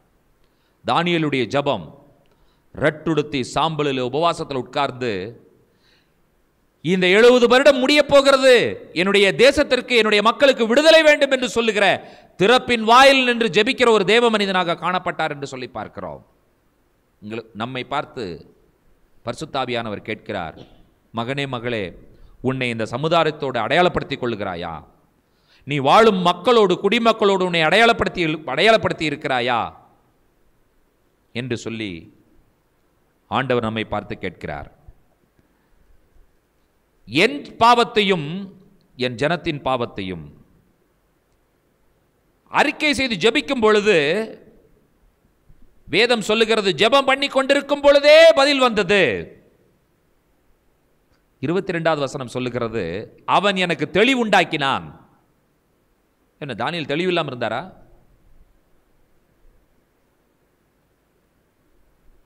தானியலை பார்த்து உனக்கு அறிவை உணர்த்தும்படி வந்தேன் என்று சொல்லி சொல்லப்படுகிறது. அப்போ அறிவு இல்லாமல் இருந்தாரா? அங்கே சொல்லப்பட்டிருக்கிறது கல்வியில் நிபுணன் அறிவில் சிறந்தவர்.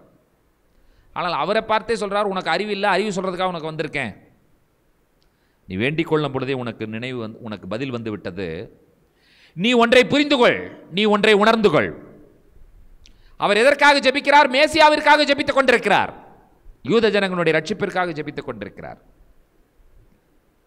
இவர் ஜெபம் பண்ணும் பொழுது பதில் வந்தது பாருங்க. நான் வாசிக்கிற இருபத்தைந்தாவது வசனத்தை.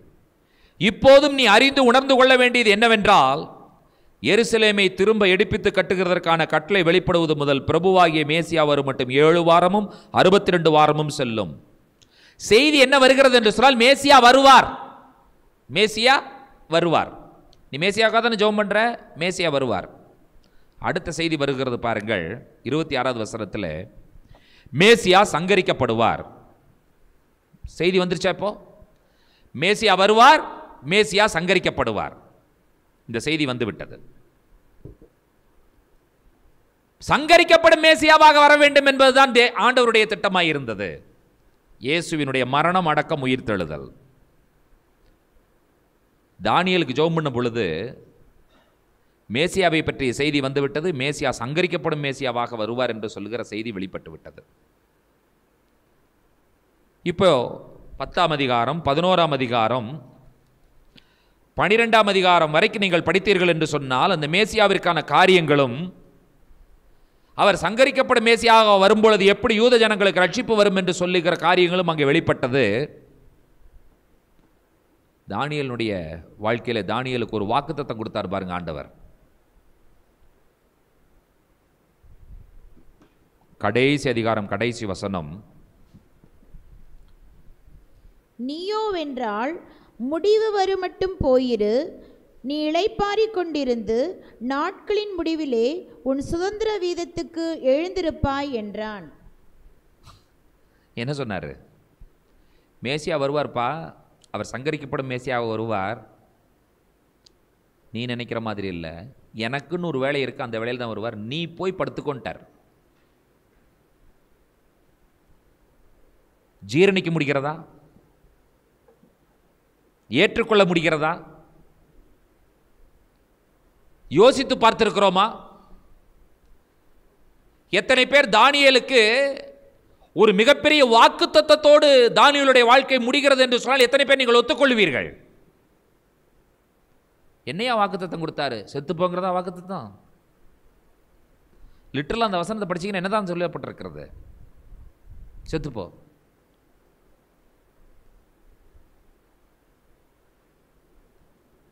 அடிமைத்தனத்திற்குள்ளாக போன தானியலினால் என்ன செய்ய முடியவில்லை என்று சொன்னால் திரும்பவுமாக எருசலேம் தேசத்திற்கு திரும்பி வர முடியவில்லை. எங்கே மறிக்கிறார் பாபிலோன் இல்லை தானியலுடைய கல்லறை எருசலேமில் இல்லை. தானியலுடைய கல்லறை இஸ்ரேல் தேசத்தில் இல்லை. தானியலுடைய மரணம் பாபிலோனில் நடைபெறுகிறது. வாக்கு தத்துவத்தை நீங்கள் பார் புரிந்து கொள்ள வேண்டும் என்று சொன்னால் நீ இழைப்பாரி கொண்டிரு. நாட்களின் முடிவிலே உன் சுதந்திர விதத்திற்கு நீ எழுந்திருப்பாய். இதை யாராவது வாக்குத்தத்தம் எடுத்துக்குவாங்களா? இப்படி ஒரு வாக்குத்தத்தம் கொடுத்த யாராவது ஒத்துக்கொள்வார்களா இன்றைக்கு வரைக்கும் வாக்குத்தத்தத்தை தவறாகவே புரிந்திருக்கிறோம். வாக்குத்தத்தம் என்றால் என்ன என்பதை நான் சொல்லி இந்த செய்தியை நான் நிறைவு கொண்டு வர விரும்புகிறேன். என்னோடு கூட சேர்ந்து ஏசாயா திருக்கதர்சன புஸ்தகத்துக்கு நிறைய திருப்புங்கள்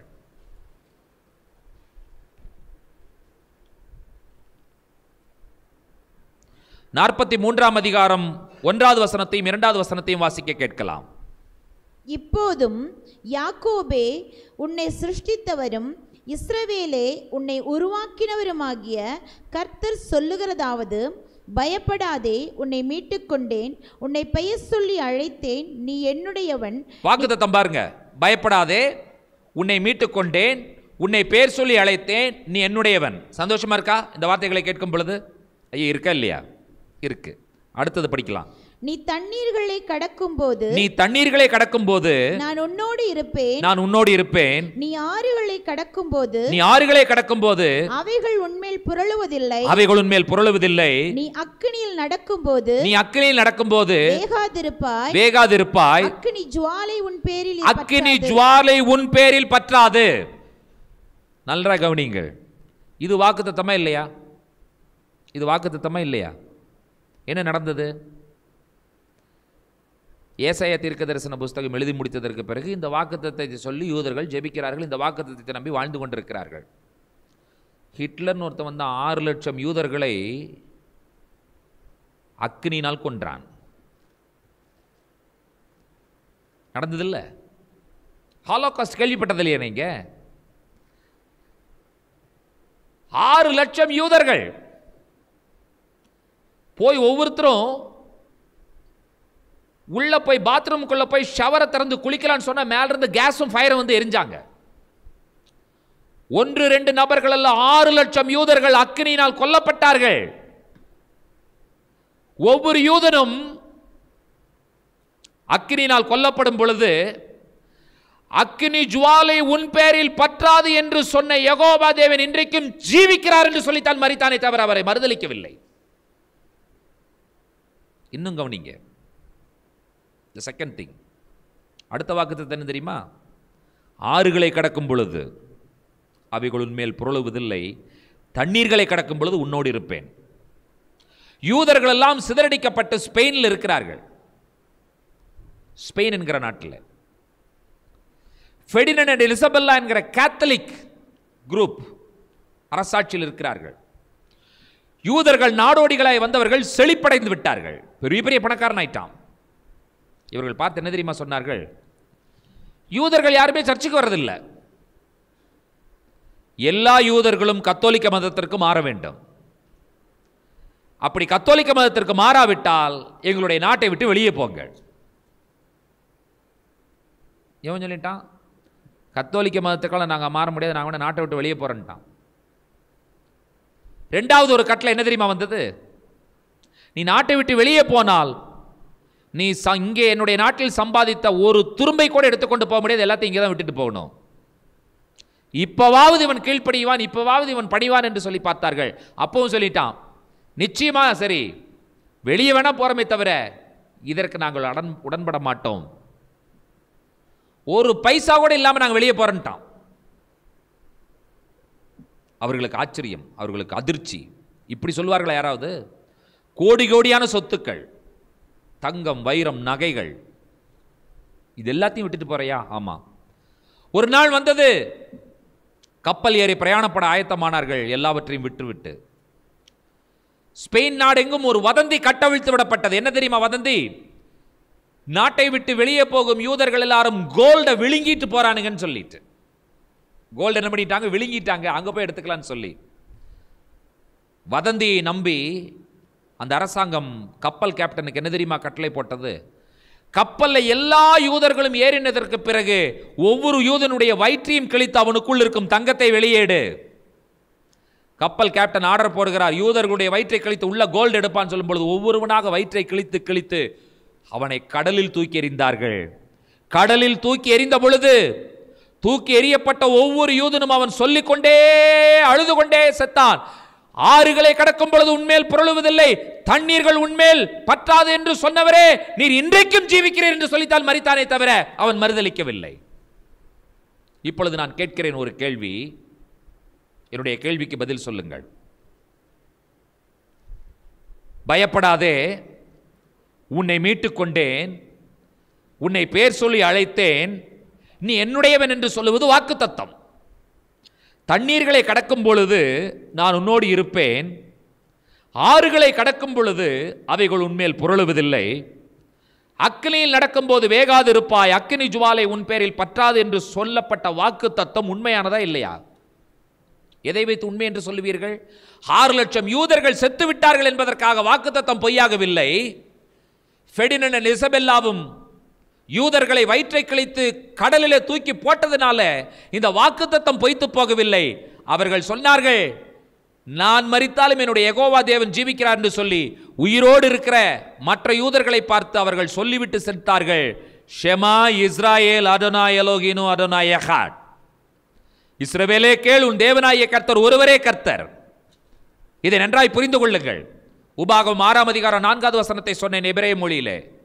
ஷமா இஸ்ராயேல் அதனாய் எலோஹீனு அதனாய் யஹாட். ஒரு யூதனுடைய வாழ்க்கையிலே ஒவ்வொரு நாளும் காலை எழுந்த உடனே அவனுடைய வாயிலிருந்து வருகிற முதல் வார்த்தை அதுதான். ஷமா பிரேயர் என்று சொல்லுவார்கள் உபாகவம் ஆறு நாலு. படுக்கைக்கு போவதற்கு முன்பாக சொல்லுகிற கடைசி வார்த்தையும் அதுதான். சரியா? இடையில எத்தனையோ பிளஸ்ஸிங் இருக்குது சாப்பிட்றதுக்கு பிளஸ்ஸிங் இருக்குது மெழுகுவர்த்தி ஏற்றுவதற்கு பிளஸ்ஸிங் இருக்குது வெளியே போன மெசூசாவை தொட்டு கொண்டு போவதற்கு பிளஸ்ஸிங் இருக்குது நிறைய விஷயங்கள் இருக்குது காலை எழுந்த உடனே ஃபஸ்ட்டு சொல்கிற வார்த்தை என்னோட சேர்ந்து சொல்லுங்கள் ஷெமா இஸ்ராயேல் அடனாய் எலோஹெய்னு அடனாய் யஹாட். இது ஒரு பாடலாகவே இருக்கிறது. ஷமா இஸ்ராயேல் Adonai Eloheinu அதோனாய் ஏஹாட் இந்த வசனத்திற்கு விளக்கம் அப்புறம் சொல்கிறேன் சரி. ஒரு யூதன் கடைசியில் மரண தருவாயில் இருக்கும் பொழுது அவன் கடைசியாக சொல்ல விரும்புகிற வார்த்தையும் இதுதான். சுற்றிலும் எல்லாரும் உறவினர்கள் நின்று கொண்டிருப்பார்கள். மனைவி நின்று கொண்டிருப்பா மக்கள் நின்று கொண்டிருப்பார்கள் பேரப்பிள்ளைகள் நின்று கொண்டிருப்பார்கள். மனைவின்னு கூப்பிட மாட்டான் பேரப்பிள்ளைன்னு கூப்பிட மாட்டான் பேத்தின்னு கூப்பிட மாட்டான் மகன்கள் கூப்பிட மாட்டான். சுற்றிலும் நின்று கொண்டிருக்கிற யாராக இருந்தாலும் சரி. அவன் சொல்கிற விரும்புகிற வார்த்தை சுற்றிலும் நின்றவர்களை பார்த்து இஸ்ரவேலர்களே கேளுங்கள். யகோவ தேவன் ஒருவரே தேவன். அவரை விட்டு விடாதிருங்கள் என்று சொல்லித்தான் மறிப்பான் ஹாலோ காஸ்ட்ல வெந்து கொண்டிருக்கிற யூதன் கடைசியில கத்தி கொண்டே மறிக்கிறான் ஷெமா இஸ்ராயேல் அடனா எலோகினு அடனா யஹாட் கப்பல் கேப்டன் வயிற்றை கிழித்து கிழித்து கடலிலே யூதர்களை தூக்கி எறியும் பொழுதும் அவர்கள் சொன்ன வார்த்தை ஷெமா இஸ்ராயேல் அதனா எலோகினு அடோனா யஹாட் நான் மறிக்கிறேன் யகோவா தேவனை விட்டுறாத. நான் கேட்கிறேன். ஏசாய நாற்பத்தி மூன்றாம் அதிகாரத்தில் சொல்லப்பட்ட அந்த வாக்கு தத்தம் பொய்யானதா? பொய்த்து போகவில்லை. ஆறு லட்சம் யூதர்கள் அல்ல அறுபது லட்சம் யூதர்களை கூட கொன்றுவிடு. என் தேவன் ஜீவிக்கிறார். என் தேவன் ஜீவிக்கிறார். இந்த வாக்குத்தத்தம் உண்மையானது உண்மையானதுதான் என்பதற்கு என்ன சாட்சி என்று சொன்னால் ரெண்டாயிரம் ஆண்டுகளுக்கு பின்பாகும் யூதர்கள் நாட்டிற்கு திரும்பி வந்தார்கள்.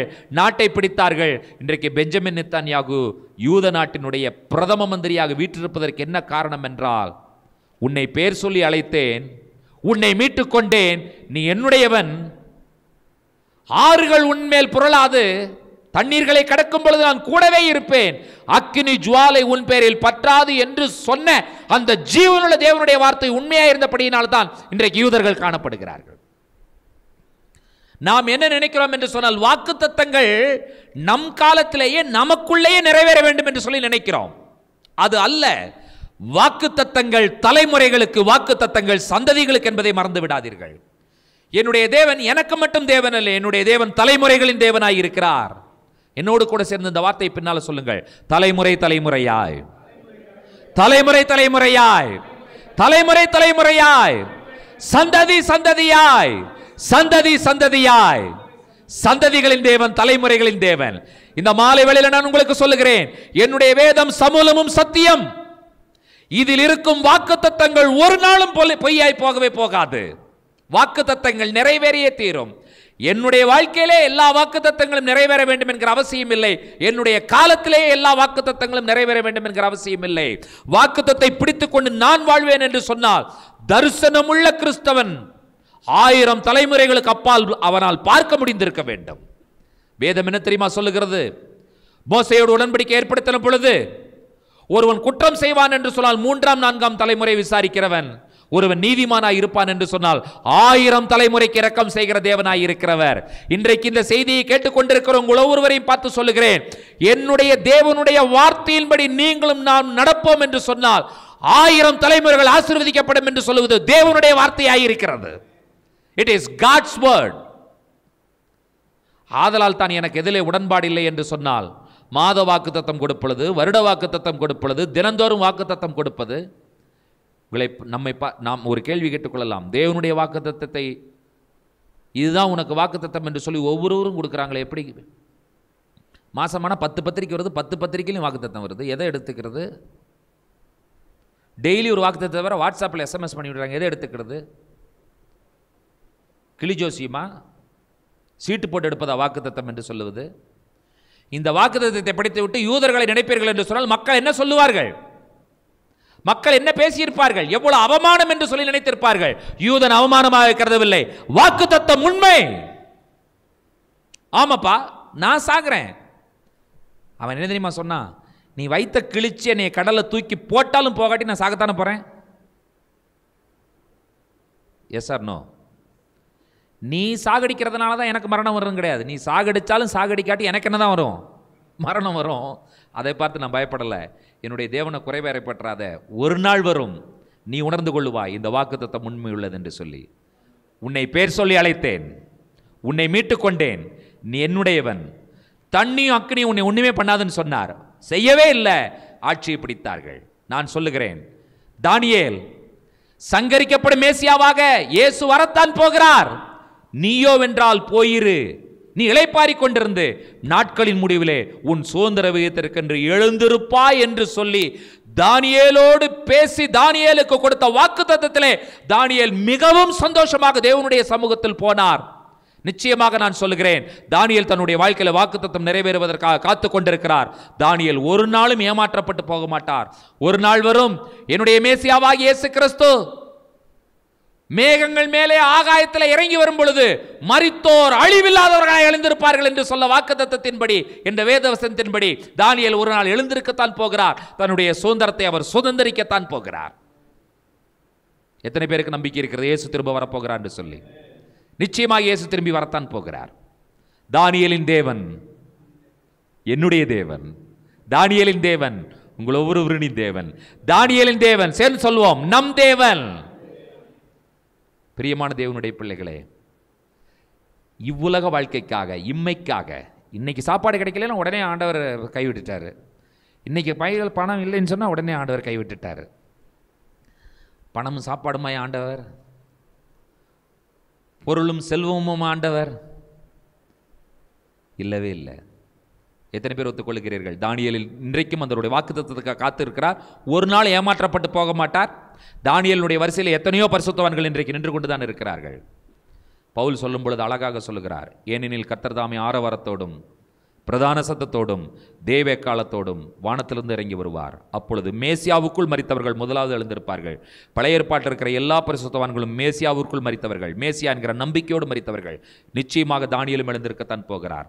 தானியலிடத்திலிருந்து நாம் கற்றுக்கொண்ட விஷயங்கள். விசுவாசத்தோடு நம்பிக்கையோடு தன்னுடைய ஜீவனை விட்டு கொடுத்து பாபிலோன்லே அடக்கம் பண்ணுவதற்கு ஒத்துக்கொண்ட தானியல் நிச்சயமாக அவர் எழுந்திருப்பார். உண்மையுள்ளவர் தாழ்மையுள்ளவர் அழகானவர் கல்வியில் நிபுணர் அறிவியல் சிறந்தவர்.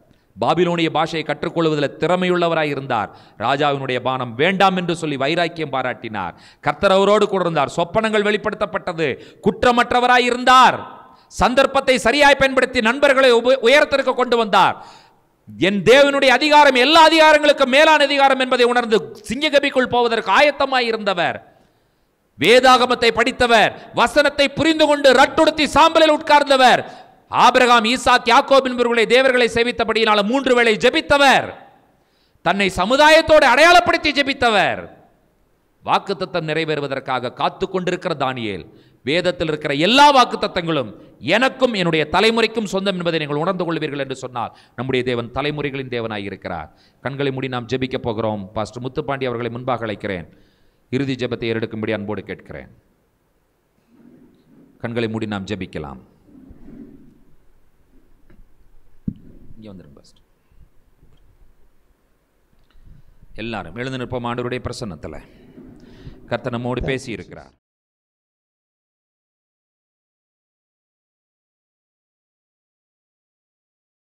சர்வவலமுள்ள தெய்வமே உமக்கு நன்றி நன்றி நன்றி. நீங்கள் கொடுத்த இந்த ஜீவனுள்ள வார்த்தைக்காக உமக்கு நன்றி ஆண்டவரே நன்றி ஆண்டவரே. நன்றி அப்பா நன்றி அப்பா நன்றி அப்பா. உள்ளத்தின் ஆழத்திலிருந்து நன்றி சொல்லுகிறோம் ஆண்டவரே. நாங்கள் ஒவ்வொருவரும் நன்றி சொல்லுகிறோம் அப்பா. நன்றி அப்பா நன்றி அப்பா. நன்றி ஆண்டவரே நன்றி ஆண்டவரே நன்றி ஆண்டவரே நன்றி அப்பா. நன்றி ஆண்டவரே நன்றி அப்பா. பரிசுத்தத்தில் மகத்துவம் உள்ளவரும் துதிகளிலே பயப்படத்தக்கவரும் தாம் ஒருவரே அதிசயங்களை செய்கின்ற எங்கள் மகத்துவமான தேவனே உடைய குமாரனாகிய இயேசுவின் நாமத்தினால நாங்கள் வேண்டிக் கொள்கிறது இன்னதென்று அறியாதபடினாலே எங்களுக்குள் வாசமாயிருந்து எங்களுக்காக வேண்டுதல் செய்கின்ற பரிசுத்த ஆவியானவரே உங்கள் வல்லமையான பலத்தோடு கூட உடைய பிரசன்னம் நிறைந்த இந்த வார்த்தையின் நிறைவின் பகுதியிலே உடைய இறக்கங்களுக்காக நாங்கள் செபிக்கிறாண்டவரேன் கேட்ட ஆண்டவரே வார்த்தைகளை நாங்கள் இருதயத்தின் ஆண்டவரே ஆழத்திலிருந்து அவைகளுக்காக நாங்கள் நன்றி சொல்லுகிறோம் ஆண்டவரே. தானியல் மூலமாய் நீர் எங்களுக்கு கற்றுக் கொடுத்த இந்த வேத பாடத்துக்காக உள்ளத்தின் ஆழத்திலிருந்து நாங்கள் நன்றி சொல்லுகிறோம் ஆண்டவரே. நாங்கள் இந்த உலகத்தில் ஆண்டவரை வாழ்ந்து கொண்டிருந்தாலும் ஆண்டவர் அந்த தானியலைப் போல ஆண்டவரே நாங்களும் ஏகோவா தேவனை சர்வ வல்லமையுள்ள கர்த்தரை நாங்கள் இருதயத்தில் கொண்டு வாழுகிறவர்களாக. ஆண்டவரே எவ்வளவு வெளிப்பாடுகள் எங்களுக்கு தந்தாலும் தாழ்மையுள்ளவர்களாக. ஆண்டவரே ஜெபத்தில் ஆண்டவரே நாங்கள் காத்திருக்கிறவர்களாக. ஆண்டவரே சொல்லப்பட்ட எல்லா வார்த்தையின்படி வேத வசனத்துக்கு உண்மையாய் நாங்கள் அர்ப்பணித்து வாழுகிறவர்களாக. ஆண்டவரே இன்னதிகமாய் இந்த உலகத்துக்கு நாங்கள் உப்பாய் வெளிச்சமாய் மாறத்தக்கதாக பிரகாசம் உள்ளவர்களாக நீர் மாற்றுவீராக. கொடுக்கப்பட்ட வாக்குத்தத்தம் எங்களோடு அல்ல தலைமுறை தலைமுறையாய் நீதியின்படி வாழுகிறவர்களுக்கு கொடுக்கப்பட்டிருக்கிறது என்று ஆண்டவரை இன்னும் தெளிவாய் நாங்கள் புரிந்து கொண்டு வாழ ஆண்டவர் கிருபை செய்வீராக. இந்த வார்த்தையை கொடுத்த ஆண்டவரே தாசர்களுக்காக நான் செபிக்கிறேன் ஆண்டவரே அந்த ஊழியரை இன்னும் வல்லமையாக எடுத்து பயன்படுத்துவீராக. இந்த வார்த்தை இன்னும் பல ஆண்டவரே கோடிக்கணக்கான ஜனங்களுக்கு கடந்து போகும்படி கர்த்தாவே இந்த ஊழியத்தை கத்தர் ஆண்டவரே இன்னும் ஆண்டவரே பல மடங்கு ஆசிர்வதிக்கப்படும்படி நீர் ஆண்டவரே நீர் இரக்கமுள்ளவராயிருந்து உயர்த்துவீராக. ஆண்டவரே சத்தியம் அழிந்து கொண்டிருக்கிற காலத்தில் நாங்கள் வாழ்ந்து கொண்டிருக்கிறோம். ஆனால் கடைசி கால எழுப்பதில்லை. மறுபடியுமாய் சத்தியம் வைராக்கியம் கொண்டு எழும்புங்கிற நம்பிக்கையோடு பிரசங்கிக்கிற இந்த வார்த்தைகள் முழுவதுமாய் அந்த எழுப்புதலின் காலத்தில் எல்லா பொய்யை அபத்தமாக்கினது போல சத்தியம் வளர்ந்தேறி தேசத்தை எழுப்புதலுக்கு நேராக நடத்தினது போல. கர்த்தர் நீ நடத்த வல்லமையுள்ளவராயிருந்து கிரியை. செய்து கொண்டிருக்கிறபடி Praise the Lord. ஆண்டவரே ஸ்தோத்திரம் ஆண்டவரே. தேசம் எங்கிலும் சத்தியம் விரித்து அடையட்டும். கடைசி காலம் சத்தியத்தின் மூலமாகவே மிகப்பெரிய எழுப்புதலை வைத்திருக்கிற ஆண்டவர். அப்படிப்பட்ட எழுப்புதலை நீர் தொடங்கினதுக்காக உமக்கு நன்றி சகல துதியும் சகல கணமும் சகல மகிமையும் நீங்க எடுத்துக்கொள்ளுங்கப்பா. எங்களை தாழ்த்துகிறோம் எங்களை வெறுமையாக்குகிறோம். எல்லா நாமத்திற்கும் மேலான நாமமாய் உங்களுடைய நாமம் உயர்ந்திருக்க நாங்கள் எங்களை ஒப்புக் கொடுக்கிறோம். ஜெபம் கேள் எங்கள் ஜீவனுள்ள நல்ல பிதாவே. ஆமென் ஆமென், ஆமென் நம்முடைய கர்த்தராகிய இயேசு கிறிஸ்துவின் கிருபையும் பிதாவாகிய தேவனுடைய அன்பும் பரிசுத்த தேவாவியானவருடைய அந்யுன்ய ஐக்கியமும் சிநேகமும் நம்ம அனைவரோடும் கூட கர்த்தருடைய வருகை பரியந்தம் நீடித்து நிலைத்திருப்பதாக. ஆமென். சேர்ந்து சொல்லுவோம். என் ஆத்மாவே ஸ்தோத்திரி. ஸ்தோத்திரி. என் முழு உள்ளமையுடைய பரிசுத்த நாமத்தை ஸ்தோத்திரி. என் ஆத்மாவே கர்த்தரை ஸ்தோத்திரி. கர்த்தர் செய்த சகல உபகாரங்களையும் மறவாதே. ஆமென். ஆமென். ஆமென். ஆமென். Thank you God bless you shalom praise Lord